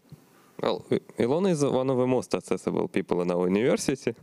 Uh, most of the professors we are always happy to help you and, re and reply to you. Uh, personally, I didn't meet a, professor who ignored letters or questions from students, but uh, yeah, I, don't, I, think most of our professors are really accessible and always happy to help you or spend some time with you to explain you the topic which you have tr troubles with better. Uh, we have another question related more to admission. So uh, the question is, is if I have a low grade in math, but I have a good grade in biology and physics, do I have chances to get a study place? Uh, I think yes, definitely have a chance. It for sure it also depends how bad is math. but uh, yeah, is providing 40% of admission points. So and the second grade uh, provides another one 40% and also motivation letter. So uh, in total you have to have at least 66 uh, percent uh, to qualify to the program. It doesn't mean that you will get a place, but at least your documents will be uh, uh, evaluated. And I think if one of the grade is really good, then yeah, in total you will get enough admission points to to be in, to be in our program. Thank you very much. Uh, the next question about how international is the program? Uh, maybe Luna. yeah, our program is really international. So I think that uh, at the moment we have uh, around uh, students from around 40 different countries. So, uh, yeah, you can find here students from all over the world. Mm -hmm. So we have also a question, how uh, big is the competition and how many study places do you have? And also there are some questions about scholarships. So maybe we can combine all of these questions, Ilona, and if you can answer uh, all together. Yes, sure. The uh, the competition depends on each year, but um, from one hand, uh, for the tuition waiver scholarship, it's really big competition. Uh, just if some numbers that um, we every year we have around 200 applications, and we have but we have 50 uh, places in program, and only around at the moment around five, six uh, tuition waiver scholarships. So for scholarships, you really have to have, I think, uh, both maximum grades and also to get a really high score on motivation letter, and uh, then you have a chance to get a tuition waiver scholarship. But uh, to get a place in our program, it's it's possible. Uh, it's uh, the competition a bit less than for tuition waiver scholarship. I will take another question which is related to Estonian language. So if you guys are studying Estonian and uh, if you think Estonian is necessary to uh, find a job in Estonia and uh, also how difficult it is to study Estonian. Maybe Julie or Vyacheslav. Um, well, I personally haven't studied uh, Estonian language as a subject. But when you are in Estonia, obviously you will have Estonian friends, Estonian professors, you will be in an Estonian environment, how international it wouldn't be. So at some point you will start understanding some of it. But as, as for learning, it can be quite, quite complicated, I would say. Um, Vyacheslav, maybe did you try to learn Estonian? Yeah, I had uh, two courses about in, on Estonian language and I conf confirmed it's hard to study. um, some some things in this language. Uh, no, at least at least for me, as a Russian-speaking uh, person, it was hard to understand. For example, Estonian language doesn't have genders in it. Yeah. Yeah, it's uh, it makes hard to correctly pronounce things. Some, some sometimes understand them, and but uh, you don't actually need Estonian to comfortably live in uh, Tartu or in Estonia generally because a lot of people I speak English. Or if you're also a Russian-speaking person, a lot of people also speak Russian. Uh, about jobs, um, I would say what you can get a job uh, without knowing Estonian language, but many many jobs would you need at least some basic skills about in Estonian. For example, if you want to work in a shop or you want to work as a waiter, you kind of need to know Estonian. Mm-hmm. Thank you very much. Uh, we have a question about exchange studies. So I know that Ilona, uh, during her presentation, introduced different exchange possibilities. There is a question: Where can I go for exchange? For, for maybe uh, Ilona. Actually, there are a lot of different partner universities all over the world. Uh, so if you remember on one of the slides, I showed the map with uh, uh, partner universities, and um, I think it includes everything, the whole Europe, and so Asia, uh, Asia, America, uh, all continents, I think. So there are lots of possibilities, and uh, of course, uh, uh, you will get all of the information once you are a student, and you will be able to see the full list of the countries and universities where you can go as well. Uh, so we have some questions about motivation letters. So how to write a successful motivation letter? Do I need to indicate the specialization already in motivation letter? Maybe Ilona, you can start and uh, discuss it from your perspective, and then students also can share their experience because they already wrote this motivation letters, so they can also share some tips with you. Yeah, um, uh, as I tell you, uh, as I told already, that motivation letter is pretty important. Uh, very often we get uh, uh, candidates with equal uh, grades on the both uh, subjects. So the motivation letter decides are you in or out, are you getting a stipend or not. And uh, we always tell that very carefully uh, uh, read through all the questions what we're asking. There is four or five questions, four I think questions. And there is also a question about specialization, what you are thinking uh, you want to specialize in. but it doesn't mean that later you cannot change it. Just for us, it's important to see uh, what thoughts you have, what, uh, why you want to study in our program, what is your motivation? And uh, uh, that's why we also asking the specialization. So what you're thinking about and what you are going to do and how you are going to apply your uh, education in future career, why you need to study science and technology, why is it your choice? And also, uh, I always ask you definitely if you have anything which will make uh, from you a better candidate than others, write in motivation letter. Because if you will just include some, for example, documents from, you got some certificates from Olympiad or competition, so uh, victories or something like that, uh, we cannot count in it uh, in uh, admission points. But if you will write it in your motivation letter, it can uh, give you some benefit. Uh, also, if you have done some project on the field, sometimes already studying in the school, you you are doing some kind of projects uh, in cooperation with university. So if you have uh, interest in some kind of literature, you are reading articles on the field, anything which will connect you to the field and to make you a better candidate. Even if you, for example, are going graduate from school with a medal, also you can mention it in a motivation letter. But don't do a too long one. So it's also not uh, good to write too long uh, motivation letters. So it's always good around one to uh, A4 pages. Thank you very much. Julie, would you like to add some some stuff? Some tips? Not much, but just be honest in your motivation letter because when you arrive here, it will be already obvious for everyone what you knew, what you learned, and what you're capable of. And if you think that, oh, maybe this competition was not so important, still include it because it might actually be of a valuable experience when you start facing different, um, I don't know, challenges during your studies. Thank you very much. Uh, we have another question to Ilona. Are all applicants have a chance to get full tuition waiver scholarships? Yes. All candidates have uh, a chance to get uh, the tuition waiver fee, uh, scholarship, which will cover the fee of studies. If I don't have my certificate of graduation yet, can I apply with transcript of records? Also, yes. Yeah.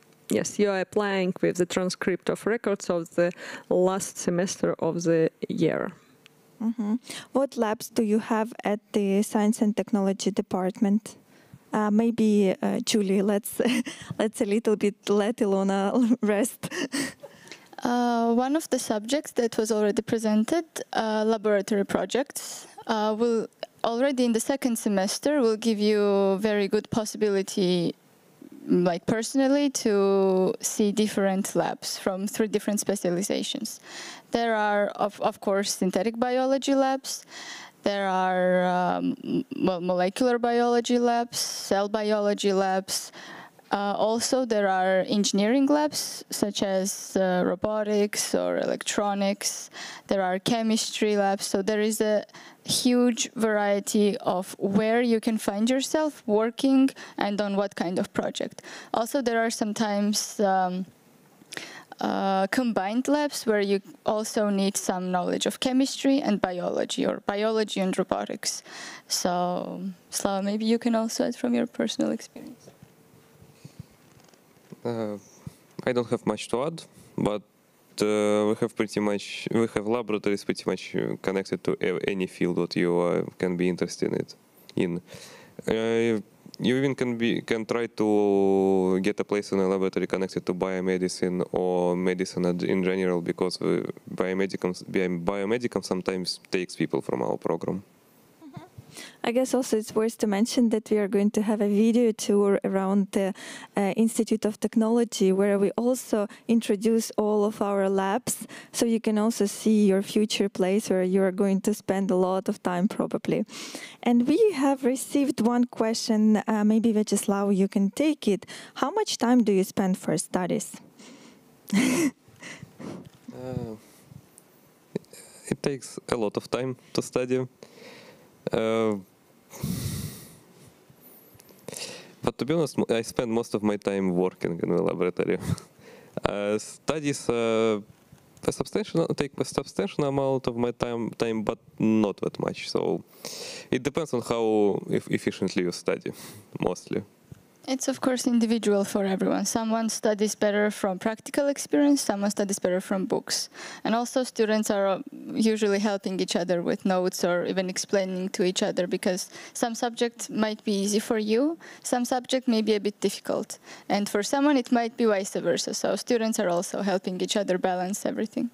Yeah. yeah. Just wanted to add that yes, uh, as Slava told that he's spending more time uh, working in the lab because it's again like we emphasize in our programs that the majority of knowledge you are getting while practicing on practice. So uh, working in the lab is uh, straight connected to your studies as well. Mm -hmm. Thank you very much. Uh, so we have also a question about internship. So uh, is it compulsory part of the program and can I conduct my internship in the lab at the university? Maybe Ilona. Uh, the internship is not compulsory, it's elective, but yeah, you have this possibility if you want, uh, then uh, to go, for example, for Erasmus exchange program for semester. And some, if you're already doing your bachelor thesis in one of the labs, then uh, the lab even can help you with the, some contacts to find some contacts with uh, uh, partner uh, research labs all, all, over the world. But uh, if you are not working or if uh, the lab have no any suggestions, then it's uh, a student's job to find the place they want to do internship in. Mm -hmm. Thank you very much. Uh, there is one also related question that is it possible to work and study at the same time? And maybe you have such cases or would you maybe recommend or not? Uh, maybe we will ask Vyacheslav. Uh, yeah, you obviously can work and study, but it's a individual thing for everybody, for everyone. Like, I know people who work and study. But some some of them work in the laboratories, some work in some work in like service related fields just to earn some money. But um,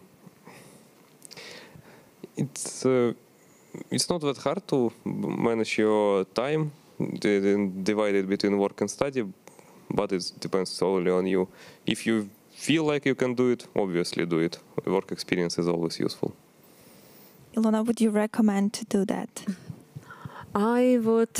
It it depends on the person, but uh, what I recommend, I recommend to uh, find the work in laboratory, in research group, where you can combine very nicely your studies and uh, and work. Because especially if you will write the thesis in the same lab, then your projects are connected to your studies. Uh, it's like recommended, but uh, I know that some students need to earn their own pocket money and uh, find, finding uh, a job in the lab is not very easy task, uh, for, especially for first year bachelor students. Uh, then so I cannot tell that it's very easy to combine these two because uh, our program is intense and you have to study still a lot. But uh, yes, some students are working, uh, like Slava said, in service as well and combining studies and working. Thank you very much. Unfortunately, our time is up. So if you still have any questions left, please uh, contact Ilona or please also contact students. We will try, if you don't mind, to send also their emails. So if you have some questions, uh, that uh, you can ask from students, you can also ask. But thank you very much, everyone, for being with us. I hope you learned quite a lot of new information, which is going to be useful during your admission process and which will help you to, for example, write a successful motivation letter or make everything in order as it should be. And also thank you very much our dear speakers for being with us today for introducing science and technology. I wish uh, to our applicants only to apply. Don't forget about the application deadline, which is 15th of April. And uh, thank you for being with us and uh, stay with us because we still have one info session left uh, in medicine, which will start in a while.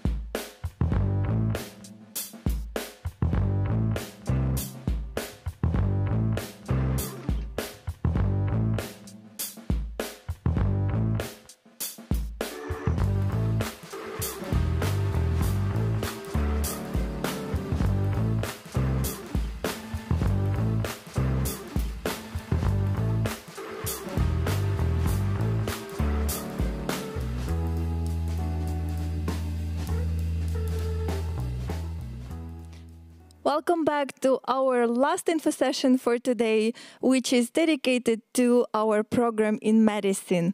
I also would like to point out that medicine program is not a simple bachelor's program because it's a joint bachelor's and master's program in English that lasts six years. So this program is uh, a little bit different from our other bachelor's programs that were introduced today. And today with me, I have Rene Karner and Kadri uh, Weber, who are going to introduce the program and they're going to show you the slides and tell you more about medicine, about curriculum, and uh, they describe everything what you will need to know about the program. And also I have here Aziza, who is going to share her student experience because she's studying currently this program. So she will also share her perspective. I also would like to remind you that we are having this wonderful opportunity to leave your questions. So if you are watching us from Workshop, you can see that next to the info session in medicine, then there is a Q&A button where you can write your questions, and then we are going to answer them online. Or if you are watching us from YouTube, or if you are watching us from Facebook, then you can just comment under the video, and we also will try to answer these uh, questions as well. Also, I would like to ask you not to leave right after the info session because after the info session, we are going to have online tours around the University of Tartu campus. And we are also having a tour in Biomedicum building where actually the medicine uh, program is taking place. So please stay with us and you will see more how the building looks inside. So I guess that would be it from my side, and I will give a floor to our speakers who are going to uh, introduce uh, medicine. So please, Rene and Kadri, the floor is yours. Thank you, Anna. Uh, so hi, um, I'm Kadri and I'm the academic affairs specialist uh, in the Faculty of Medicine. Hello, my name is Rene and I am the head of the Dean's office. And um, uh, as it said, medicine uh, cures diseases, but only doctors can cure patients. And uh, Tartu University is in Estonia the only place in Estonia where you can study medicine and you can study in English as well. Afterwards, uh, our students will describe how it will be. Uh, okay, so a few words about the program. As uh, as it was said before, uh, it's an integrated bachelor's and master studies program, and the duration of this program is six years. Uh, after graduating, uh, you'll get a degree in medicine. Uh, the language of instruction instruction is English, but uh, some knowledge of Estonian language is also require, required uh, to communicate with uh, local patients. Uh, the tuition fee for our program is 12,000 euros per academic year or 6,000 euros per semester, and we don't have any scholarships or tuition uh, waivers. Uh, our uh, studies are uh, very specific uh, we, and they are held in course system. This means that they are in all the subjects are predetermined order.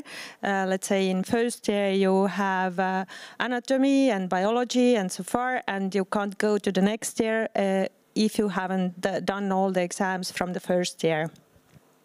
So it's uh, this is quite important to keep in mind, and yes, this could be hard. Uh, the program uh, consists of uh, mm, compulsory courses mostly, but we also have uh, elective and optional subjects in our uh, curriculum. And uh, elective courses can be selected from a um, list of courses, but optional subjects can be taken from any faculty from the university. Uh, we also have Estonian language courses that our uh, first and second and third year students take uh, to be able to communicate with the patients. Uh, now, uh, some words about application deadlines. Uh, the deadline is 15 of April, and the final admission results will be available from 25th May, and we have the entrance interview via web in 11th of May. If in case we have uh, a lot of candidates, then uh, there could be more dates as well. And the academic year starts in 29th of August, and uh, we are all welcoming you here. Um, about the admission uh, more, uh, this year we are um, a bit different admission program. Uh, we have a BMAT test. This is new this year. And unfortunately, in case you haven't registered to the BMAT, you can't do it anymore. But hopefully you all have done it already. Uh, uh, if you have uh, this bio biomedical admission test uh, scores, uh, then the next thing you should do is motivational letter. Uh, and afterwards, the best ones will be asked to the entrance interview, which is, as I said, on 11th of May. Uh, we accept 24 students each year. So right now we have about 150 uh, international students in all six years. Um, all the 24 students are divided into two groups because we believe that uh, studying uh, in smaller groups is more effective. Uh, the competition is about uh, nine or 10 students per study place. And our program has the highest competition among uh, the international programs in University of Tartu. Um, yeah. So uh, our studies are basically divided into uh, two. We have preclinical courses and clinical courses. Uh, the first three years is what we call preclinical studies. And uh, these studies are held in mainly in these uh, two buildings that you can uh, see in the pictures, Biomedicum and Chemicum. They are located very nearby in the same campus, so as all our buildings. And uh, from the mm, actually from the third year uh, spring semester you are going to Tartu University Hospital. Uh, hospital is uh, renewing himself. It's uh, already uh, very much of very very new buildings. Uh, we have the simulation center, so you can study with patients, but already we have clinical dolls or something like that, I think, uh, where the students can practice. And yes. uh, so in their sixth year, uh, our students need to complete clinical practice. Uh, the clinical practice uh, consists of uh, five parts. We have uh, surgery practice, internal medicine practice, emergency medicine practice, family medicine practice, and elective practice. Uh, so the students spent the whole year in different healthcare uh, institutions or hospitals in Estonia or anywhere abroad. And after you have done the clinical practice, there will be um, uh, final examination. And after that, you are the uh, doctor. Uh, in Estonia, we say üldarst. It means just general general doctor. And uh, if you want to, uh, and uh, if you find Estonia a nice place to stay, you can uh, prolong your studies here. You can take uh, postgraduate specialist medical training. Uh, we call it residency training. It about four to five years, depend from the specialty, and we have 44 different programs. this programs are held in Estonia, but after six years in medical studies, you already uh, could speak in Estonian quite well, I think.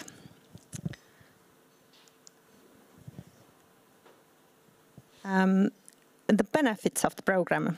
Uh, if you come here uh, after six years, uh, you can speak in Estonian language. Uh, uh, you can have a permanent living permit if you're foreign resident uh, and after graduation you have the document which certify the registration in Estonian Health Board as a physician. And as I said, uh, the future is yours. So, will it be easy? No. Worth it? Absolutely.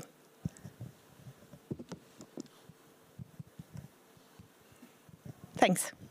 Thank you very much for your presentation. Uh, I will encourage you to leave your questions because this is the right place to ask your question from the specialist who can immediately give you advices and answer uh, your questions.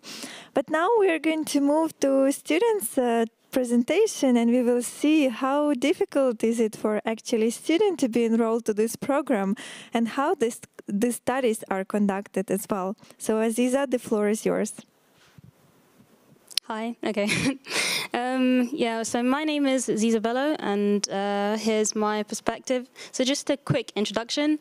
Uh, I'm currently a fifth year med student, and I'm from the UK, and here are some of my hobbies, like photography and language learning, I guess, yeah. Um, so I entered in 2017, uh, September, obviously, and um, I guess the structure of the course has been outlined already. But um, yeah, so first two and a half years, we were in two groups when we were doing preclinical subjects. Obviously, those were randomly assigned, um, and it was, I guess, one of the highlights of preclinicals was probably anatomy and the dissection course, especially. Uh, also, I guess, let's say pharmacology was probably one of the hardest subjects which we learned in third year. But um, yeah, it was all necessary for the clinical half. So that's the latter two and a half or three and a half years. And then that's when we get split into three groups and we get to actually choose our own groups. And um, unfortunately, like when I started the second half of third year, um, the pandemic hit, so it wasn't really the greatest, but it was still, um, we still managed to have some in-person classes, so that was really nice. So um, just to say, because it's an international course, so here are some of the places where um, other international students are from. Most of them are from Finland, because like it's kind of like a they have five med schools and it's kind of like a sixth option for them. But we do have um, uh, people from all over the world, like Malaysia, obviously, and from the UK. We have Japan, America, these all these countries. And one thing I really like about our classmates are that, um, or about my classmates, are that they're quite there's quite a large age range. So there's many people in different stages of their lives. We have parents, we have people who have done master's degrees. I came straight from high school. And so we all have um, different perspectives um, when studying. And I think it's really nice to be exposed to such a range of people. Yep. And plus, uh, the fact that we have a small, like it's only 24 max English students per year. So as you can see, this picture was taken like um, two years ago, and it's basically everyone. We're quite tight knit. Um, we get on quite well, and it's easier. Like if you have a large um, group of people, you might not know everyone, but we're like kind of like a family almost. So study experience. Um, so in terms of English language, um, obviously I'm a native speaker, so coming to a country where English isn't the main language was like an adjustment. But uh, most of, everyone is more or less understandable and everyone can more or less understand you as well. So obviously there are teachers with better English proficiency than others, but otherwise the it doesn't really affect the experience that much. And um, what I really like about the teachers is that they're really willing to like fully uh, explain things to you so that you can understand it sometimes because some processes, they just don't click or you don't understand them well. But um, the teachers are always happy to like really delve in and make sure you understand. Or if there are other topics like not necessarily in the or that will come up in the exam, but it's still interesting and you want to know about, then the teachers are also willing to um, delve into these other topics and you can have a really fruitful discussion and learn loads of things. Um, so just some random bits about, uh, uh, I guess, while I've been at med school. Um, for the most part, so the Estonian students and the English students are pretty much separate there was one course um, about research work where they paired us up with the Estonian students, so that was nice, um, kind of feeling like properly integrated and getting to know some of the Estonian students and made some friends that way. Um, and also just saying like clinical years, uh, feels a lot better than the preclinical years. Just finally putting the science into action and interviewing patients and um, yeah, applying all your knowledge to real people's lives and being in the hospital kind of makes you remember, oh yeah, I'm a med student. I'm here to become a doctor, kind of thing. Because when you're just learning like sciences and biochemistry and stuff, it can, the goal can kind of feel far away. So it's something to look forward to. Um, okay, so when I started, we only had the first two years of Estonian lessons, so I guess it's changed now. But um, yeah, we learned up to actually B1.2. I guess I was slightly off, but yeah. Because in third year we do interview patients and most of them don't speak English because you know the older generation may not necessarily speak English. So it's nice to learn another language. Yeah. So as was mentioned earlier um, we have the chance to have optional courses well we need to take optional courses but I really like the fact that we're not limited because I think in other countries um, outside like non-medical courses don't give you credits. So I've taken things like Korean language. Um, if you can see, I took last semester I took a uh, course in the philosophy department about social media and democracy and um, the ability to just learn all these random subjects and be a more well-rounded individual because it's easy to be lost in medicine and obviously once you graduate you're just going to be a doctor so having being able to explore other interests I think is very important so that you can have like an actual life outside being a med student. so yeah, okay, so the buildings have been explained already, but um, yeah, that's basically where we where we have classes. Oh, here's another picture of um, the my English cohort. Um, we took it in first year, very nostalgic. but yeah, and um, also we have the language classes in the city centre, which is quite a distance away from all the other science buildings and the hospital. But um, it's nice to be in a different building from time to time. And then obviously as a student, you can study in the university library, in cafes around the city, um, and also the other faculties, like I could just walk into the chemistry faculty or the computer science faculty and just go to the library and everywhere is more or less open for you to study. There's no shortage of places. So what have I been involved in while I've been here over the last four and a half years? There are two med student associations. Well, so there's one Estonian med student association and they're really um, they do a lot of work and they're around the country, around Estonia, and in terms of educating the public. And it's really nice to be part of this organization. Although, obviously, everything is in Estonian, so if you want to join it, you really have to firm those language skills if that makes sense. And also the um, majority, so obviously the majority of the international students are currently Finnish, and so they have their own uh, med student organization for Finnish students in uh, Estonia, in Tartu, um, but it is open to everyone, like I'm part of it. Um, and they're very welcoming and they do try to integrate um, non-Finnish speakers like there are events that happen in English and like for example this picture is from a very recent event where they were celebrating their 25th anniversary. And so, yeah, it was really fancy, as you can see, and a very eye opening experience to um, Finnish culture, I guess. uh, I also currently take part in research.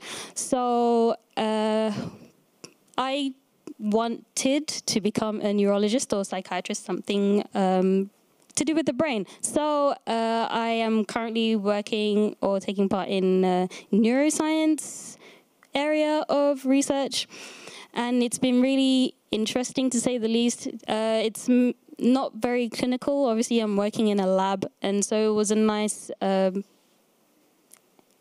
experience like a completely different experience to medicine and being in lab meetings and all these things. And we got to present, that's my friend in the top picture, presenting our work at the science conference that they hold here in the university every year. I think, yeah, every year. And hopefully I'll be presenting mm, this year. We'll see if it happens, yeah. uh, I've also been part of the Korean Culture Club. Uh, the bottom picture was from a play that we did four years ago. Uh, a, a, Korean play, of course, although there were subtitles for non-Korean speakers, and they do webinars and stuff. The Erasmus Student Network ho holds events for exchange students, but also just any student. Really, I'm not an exchange student, and I've participated in so many events over the years. So it's really open to anyone, and it's definitely a great way to make friends and really have more of a well-rounded student life instead of being buried in the books all the time. And uh, during COVID, the hospital requested the help of healthcare students, so med, med students and nursing students. Uh, they asked some of us to come and disinfect like the isolators that they were bringing COVID patients in for, or potential COVID patients in the emergency department.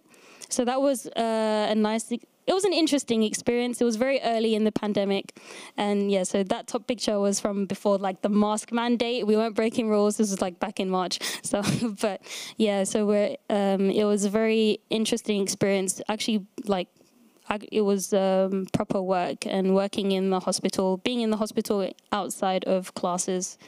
Obviously, we didn't have classes at the time, but yeah, it was nice to work with the emergency department staff and just being in that clinical environment. So, what lessons have I learned so far from living here? Um, cultural exchanges. I am from London, which is admittedly very diverse. And so, when I came here at the ripe old age of 19, uh, I did think that I was somewhat exposed to a lot of different cultures, but here just gave me another whole different variety of cultures to be exposed to.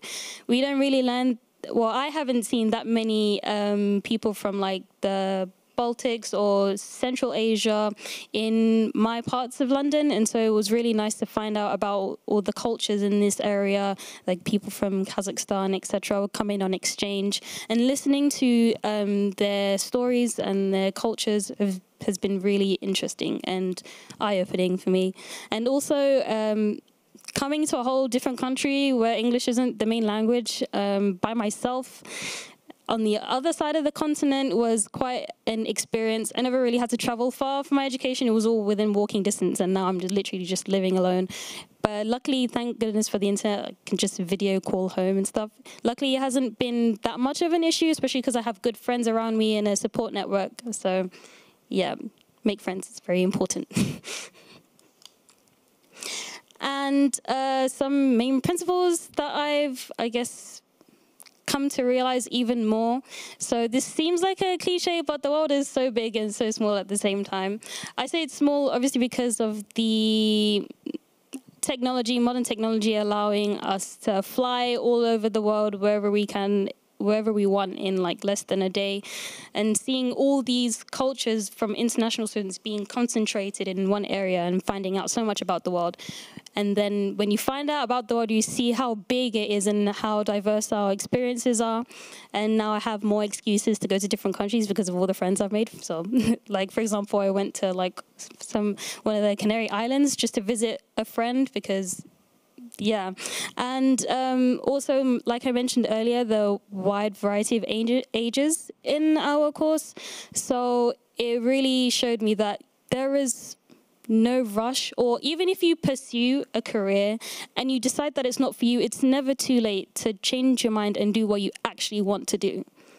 Even if you've done for example, accounting for like 10 years and you realize, I don't want to be an accountant anymore. I actually want to be a doctor, for example, even if it's a super long process, if you really want to do it, then you should at least try so that you know that you can't regret any of your decisions and you've done what you can to be satisfied.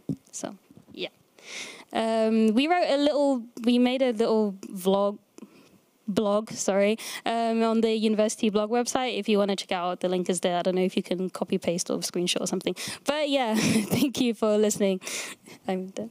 Thank you very much, Aziza, for your presentation. And uh, we are going to send this presentation after we are done with our event. So you will be also able to click the link and to check the um, uh, the videos, uh, as I understood, the vlog, right?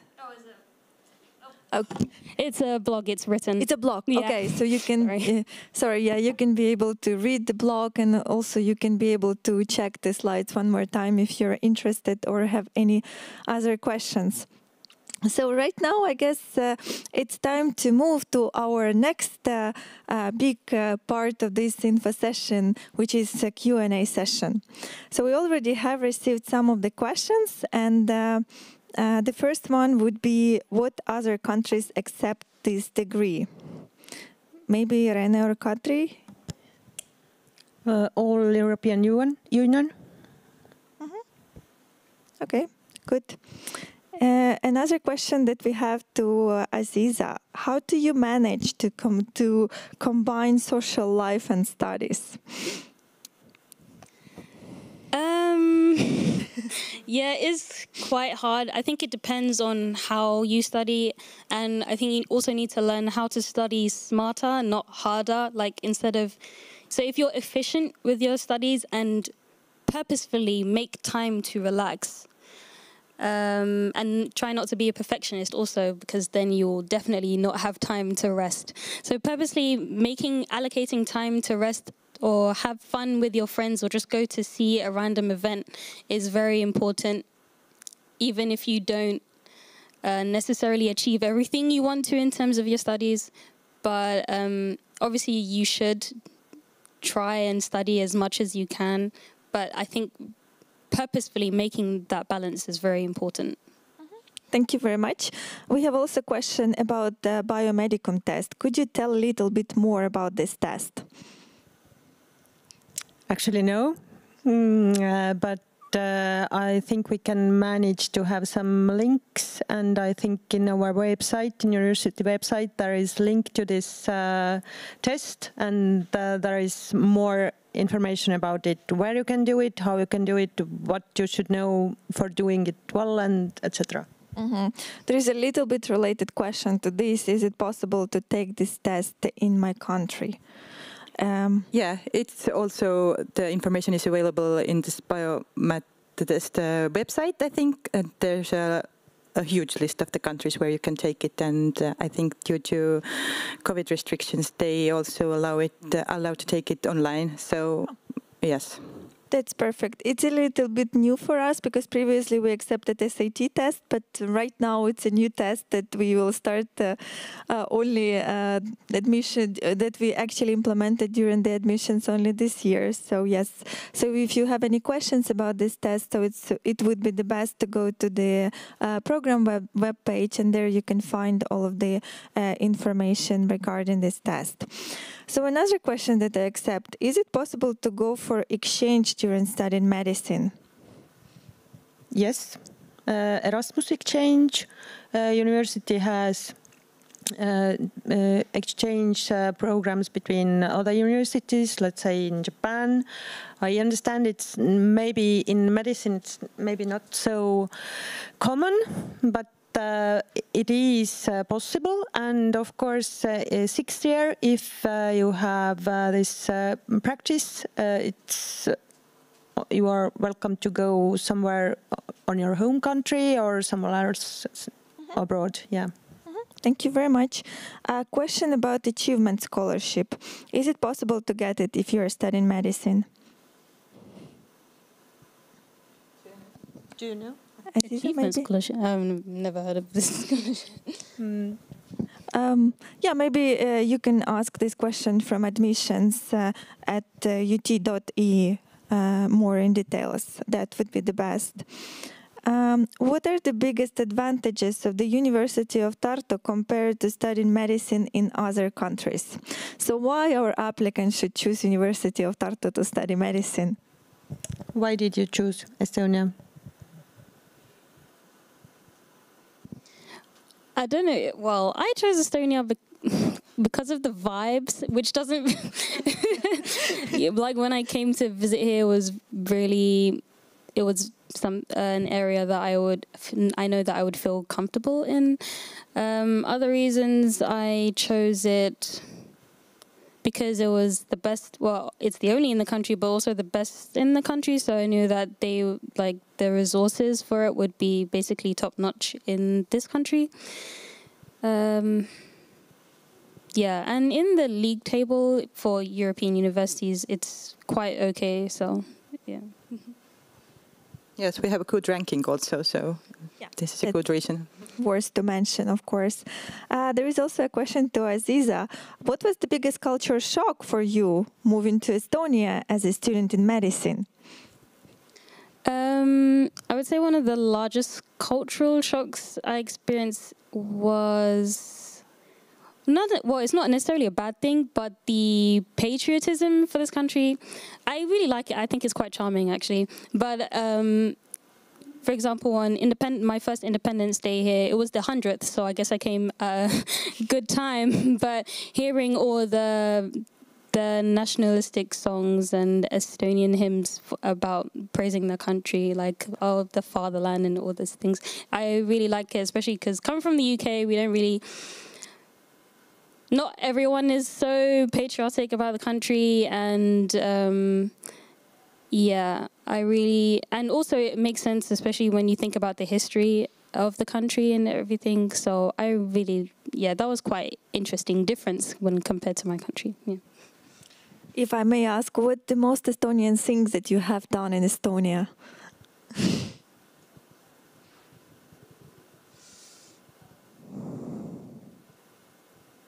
The most Estonian thing, well, I joined a choir, so I think that would be quite, yeah, especially seeing how important singing is in Estonian culture, especially with the singing revolution in the early 90s. So I would say that's probably the most Estonian thing I've done. Thank you very much. Uh, we have uh, questions about transferring from other universities. So basically, if it's possible to transfer from other university to our uh, medical program.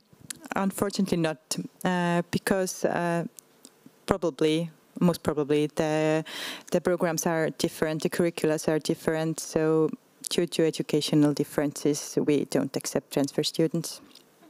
Thank you very much. Also, questions about motivation letter. What should I write in the motivation letter? On our web page, uh, and I think that in the Dream Apply or wherever you should uh, submit the application, there is a point about what we would like you to write about. So about why why University of Tartu uh, among all the others, uh, how how much chemistry, physics, biology have you learned before, um, etc. I don't know. Aziza, you also wrote motivational letter, I think. hmm Maybe you have some tips, you know, for our future applicant how to write a successful motivation letter. Write it yourself. oh, yeah, of course, definitely write it yourself. This was a very long time ago, though. but I think I also I wrote about some of my ambitions for after uh, graduation. Uh, wrote about Est- Estonia itself, like what I knew about the country and why I was choosing the country. Um, yeah, and also my motivations for medicine in general and my inspirations while I was growing up. Thank you very much. Another question we have about internship. How difficult is to get internship in the University of Tartu Clinic? I think that, um, well, when you come from some other country, I mean, this is what they mean, I think.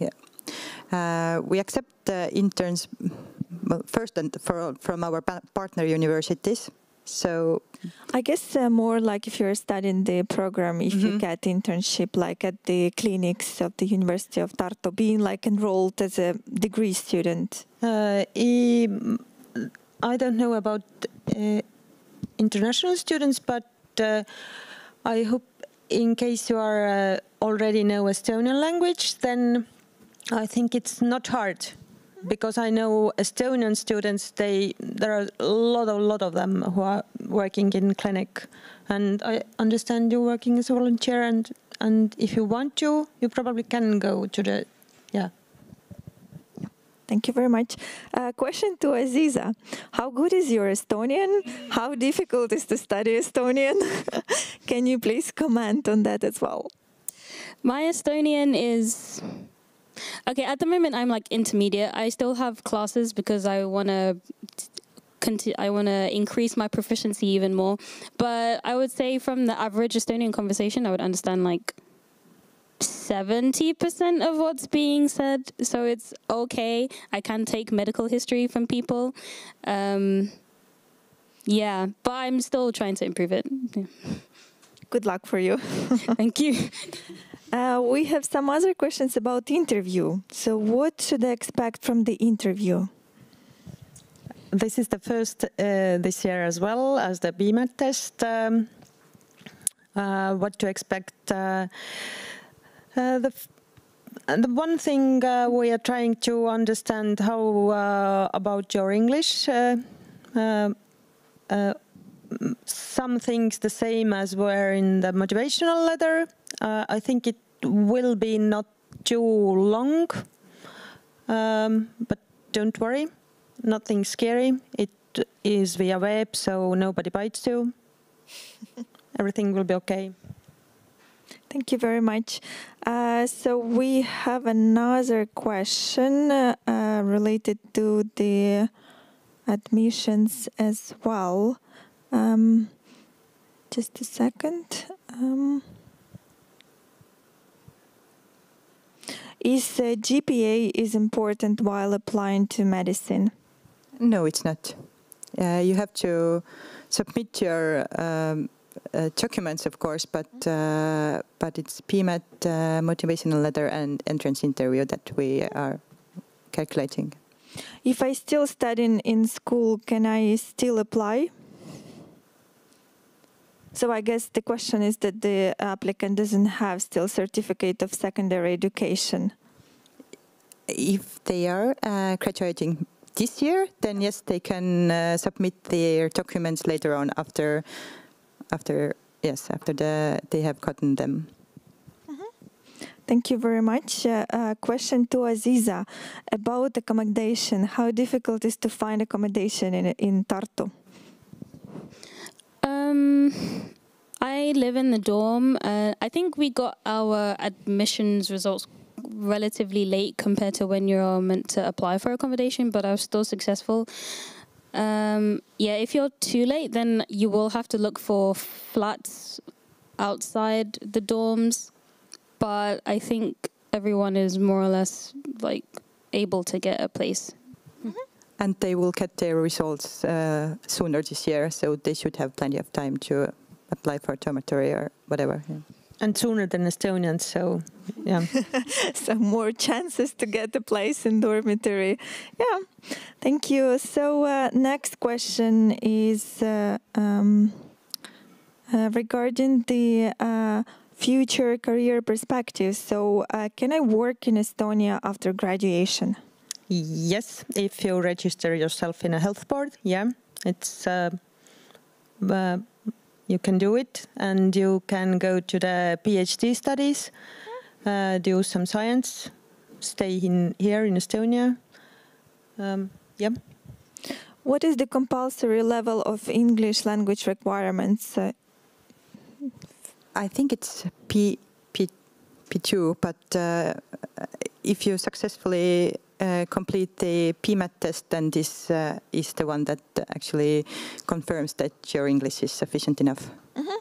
So basically, for this program, uh, uh, the separate test is not required, so you don't need to be worried about that. So the biomedical test is basically a proof of knowledge uh, of both bio, like biology, basically, and then the English proficiency. Yes, and the motivational letter also yes. that is in English, so this also proves your English. Yeah, that speaks for it. Yeah, for itself, basically.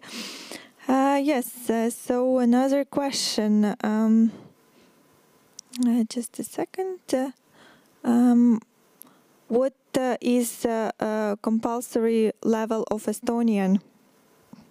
On the first year, zero. Yeah. Yeah. But while graduating, uh, I think you have mentioned during your presentation, B2. but maybe we can, yeah, yeah, B2. All right. Okay. Uh, so the question to Aziza uh, just also came uh, Aziza, would you recommend to choose University of Tartu? Yeah. Uh, oh wow, sorry.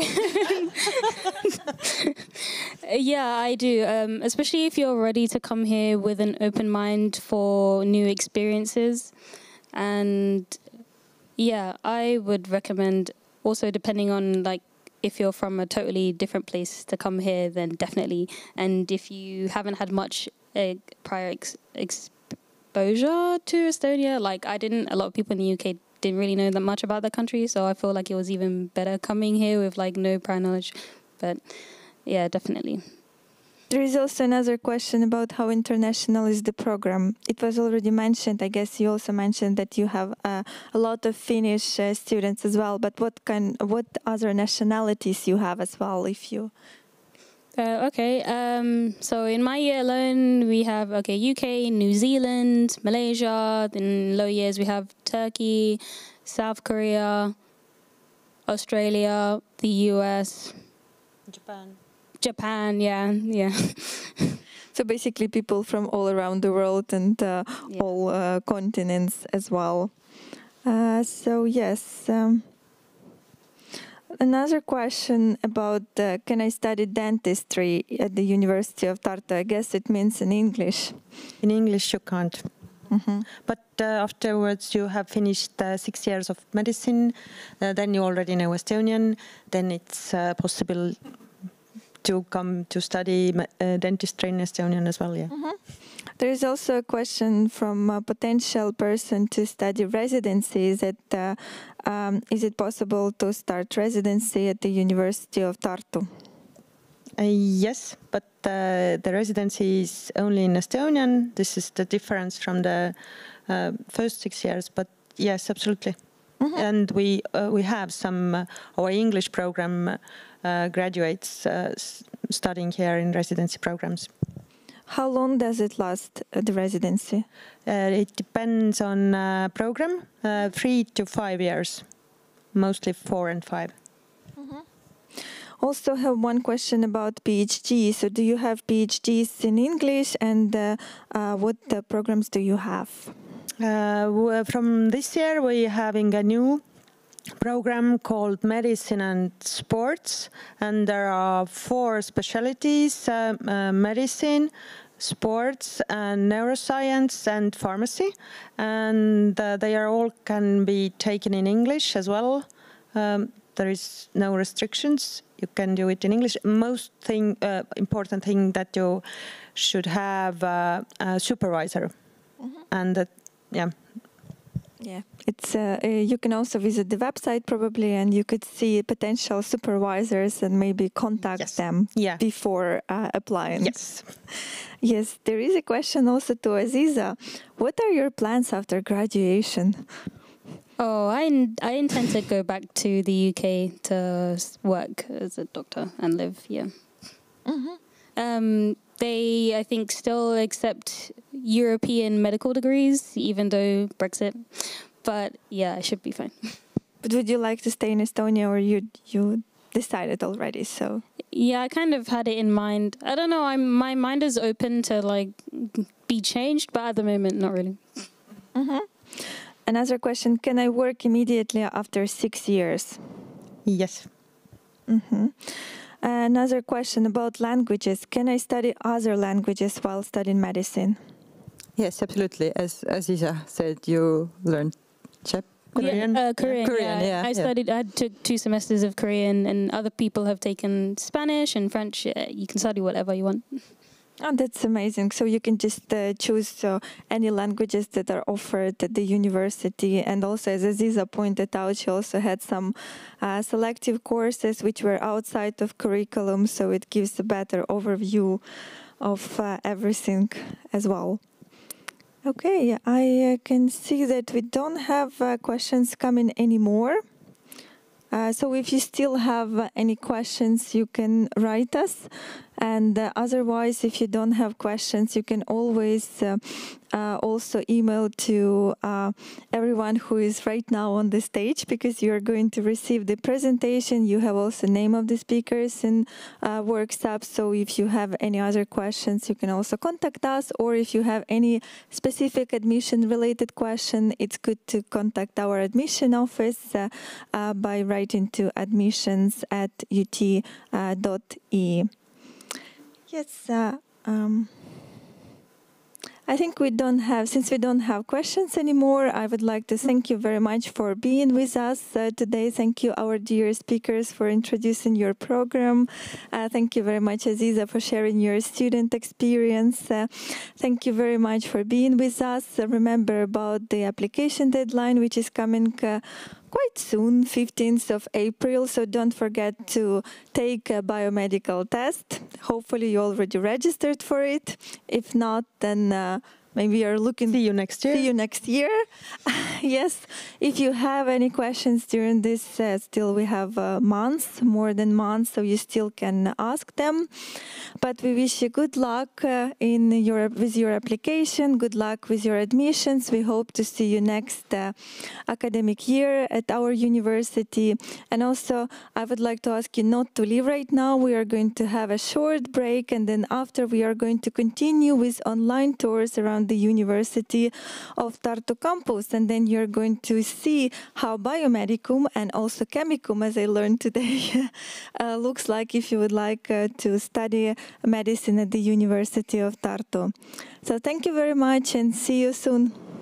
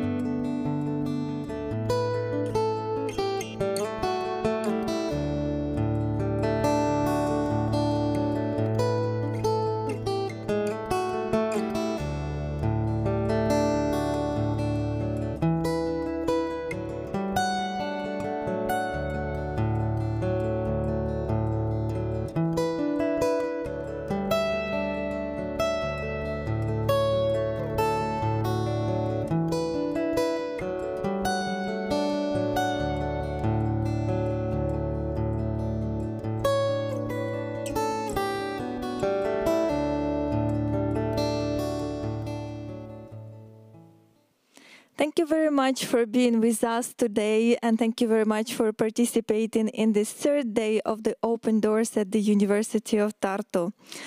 But we are done with our info sessions, and today we introduced our bachelor's programs in business administration, science and technology, and our joint uh, program, uh, joint bachelor's and master's program in medicine. I hope you received uh, quite a lot of information that will be useful for you in the future, and you enjoyed our info session. But uh, we are not finishing right now. We still have uh, campus tours around the University of Tartu and you can actually join us online and see how our buildings look inside. So please uh, stay with us right now and enjoy watching the tours around the University of Tartu. And I would like also to mention that these tours are including the tours around University of Tartu Delta building, Chemicum, Physicum, Biomedicum, Institute of Technology, and also our dormitory. So this overview is going to be very useful for you if you're planning to study at our university and if you're planning to live in the dormitory. So I wish you, uh, uh, I wish you uh, the best of the luck. Thank you for being with us. Enjoy watching our tours and see you tomorrow.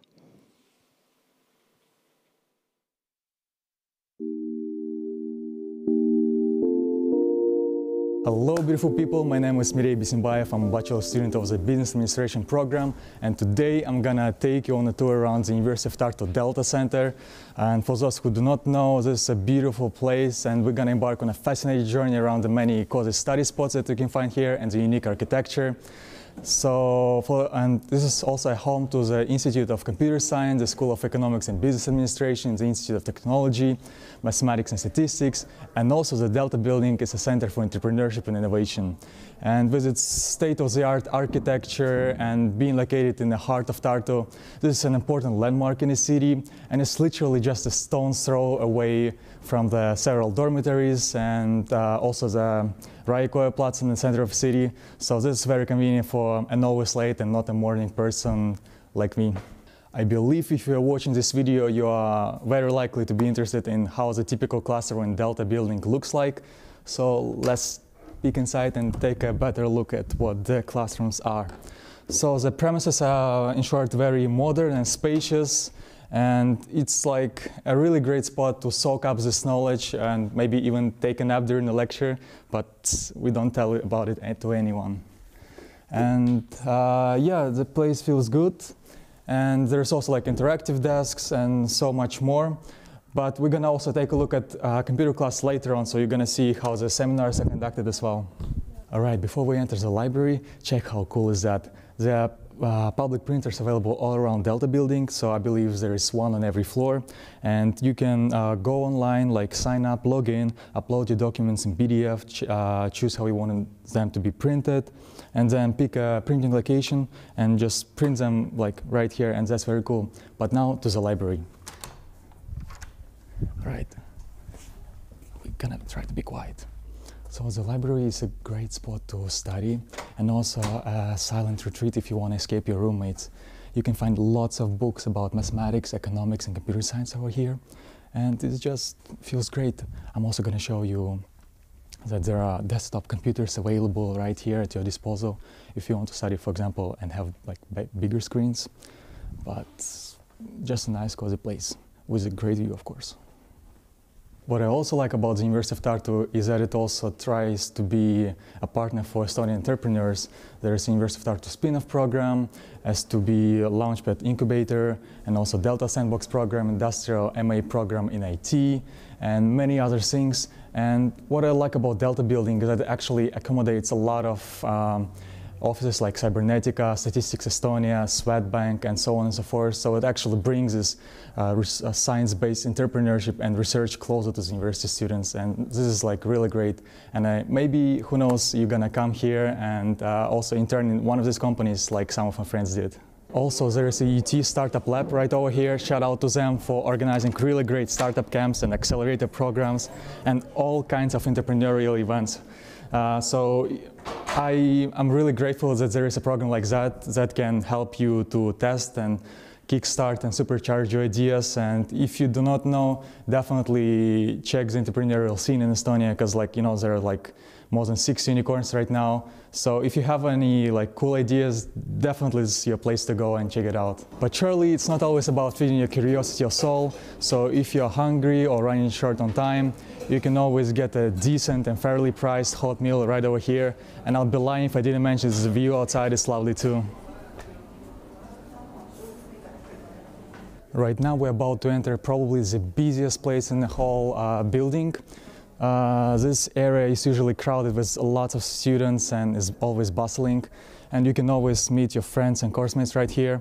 And it's a perfect place, you know, to study, to cram for your exams, or panic before exams, or, you know, brainstorm ideas, chit chat, have fun with your friends. And for example, check this out. I love these honeycombs. It's perfect for group work, you know, and it's very silent inside. You can switch on a light, you know, uh, do your group projects, um, come up with great ideas, and uh, yes.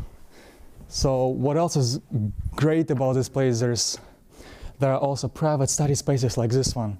So for example, if you want something more private, you can always come here with your laptop or textbooks, whatever, and enjoy studying here as well. And another really awesome thing, in my opinion, is that this whole study area has this cool kitchen. We can check it out as well. So if you want to keep your engine running or, you know, starving, want just to drink a tea or something, you can also come hang out in here. Anything you can think of, you can find in this place. Right now we're in a computer class and that's where you will have seminars or other kind of lectures. And um, I just love studying with these big screens, it's very convenient. And there are also like two big projector screens as well. So you can see the whole process of what your lecturer is doing in your computer and you can like try to repeat and replicate and it's just a really great place to study in. What you can see right now is a high-performing computing center. It provides the largest, uh, Baltic's largest computational infrastructure power for scientific research. And also, let's just like see how the, what is the design like across this whole hall. There are like locker rooms there, different like, even more like computer classes. All right, let's move on and let's try to get more understanding of the look and feel of the Delta building. So right now you see like a second floor. There are even more computer classes right here and also like different laboratories, like for example, this digital laboratory or the robotics field over there. And generally, there, like apart from that, there are also like the Internet of Things laboratory, the laboratory of computers, uh, graphic and um, virtual reality. And while we also walk in, let me also share quickly a story behind the name of the Delta building. So Delta was chosen in a competition in 2016. There were over 170 name proposals, uh, such as Iconicum, Logicum, Sigma, uh, to name a few, but Delta was chosen because uh, the building resembles a triangular shape and also it symbolizes um, basically the energy for a center and just generally look at it, I feel this is a very inspiring setting to like, you know, get even more ideas and to study in. Right now we're on the third floor and this is an office area where PhD students study and work and also there's academic staff offices around. And here we are entering a chill zone for PhD students and staff to unwind, you know, relax, have a cup of coffee. There's a ping pong table, like an open stage to play musical instruments and all kinds of uh, fun stuff right here. Also, even a PlayStation. Sometimes great ideas find us in the most unusual places. And uh, one of these such places is definitely a balcony right over here. The university is not always about work and research, and you can always have some fun time as well. And this is definitely a place to go. Like this great balcony on the third floor. You can even do grill here during the summer, and the view here is just very gorgeous and inspiring. So if you want to get some fresh air, I definitely recommend to visit this place. We are in a Delta Sandbox area right now, and Delta Sandbox is a design thinking and digital product management program for MA students in the University of Tartu. And this is an experimental playground for interdisciplinary teams to come together, test their bold ideas, um, have a collaboration with product managers uh, from like great companies like Telia, Bolt, Pipedrive. Basically, um, students can have an opportunity to get a hands-on experience in product management by like working on real life challenges of these companies. And this is where they held their events. You know, chill as well is just another like inspiring uh, venue to study and you know come together enhance your professional skills. Thank you for tuning in. I hope you enjoyed this video and found our tour informative. And i'm really looking forward to seeing you around in tartu and especially in the university of tartu delta center.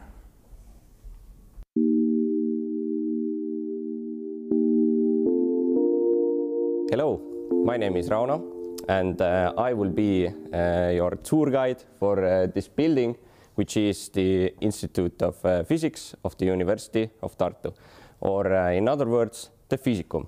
And uh, currently, we are uh, in the first room that you get to when you enter the building, which is the lobby. And uh, as you can see, uh, there are a lot of tables here, and this is like the main place where students hang out, where they uh, do their homework, and uh, this is sort of like a socialization uh, hub. And pretty much when the semester is going on, you can see students here all the time. Even during the night, like uh, when you come here at uh, 1 a.m. or 2 a.m., you can see, see some, uh, some students studying hard for their exams, and not only physics students, or chemist students or material scientists who all together study in this building, but also like uh, doctor students who uh, unfortunately cannot be in their own house because they are not allowed to be there uh, during during the night hours. But here it is possible. So uh, we are going to see the first uh, room that our lectures are being taken in. There are other rooms as well, that side and that side, but this will be our biggest room that you can have your lectures in. As you can see, this is uh, quite big. It fits around uh, 200 people, and uh, it's quite necessary to fit 200 people around here because uh, for uh, us, the physicists, and uh, our buddies, the chemists and material scientists, well, we are not so many, and we can fit here quite good. But when, let's say, doctor students or or computer science students come here, well, they have their uh, first year lectures and uh, then there are like more than 200 of them. So every seat is filled. So as I have uh, mentioned, uh, this building is not only for physicists, but for uh, lots of other people in the natural sciences um, curriculum uh, as well. So quite a multicultural or multi-student building as well.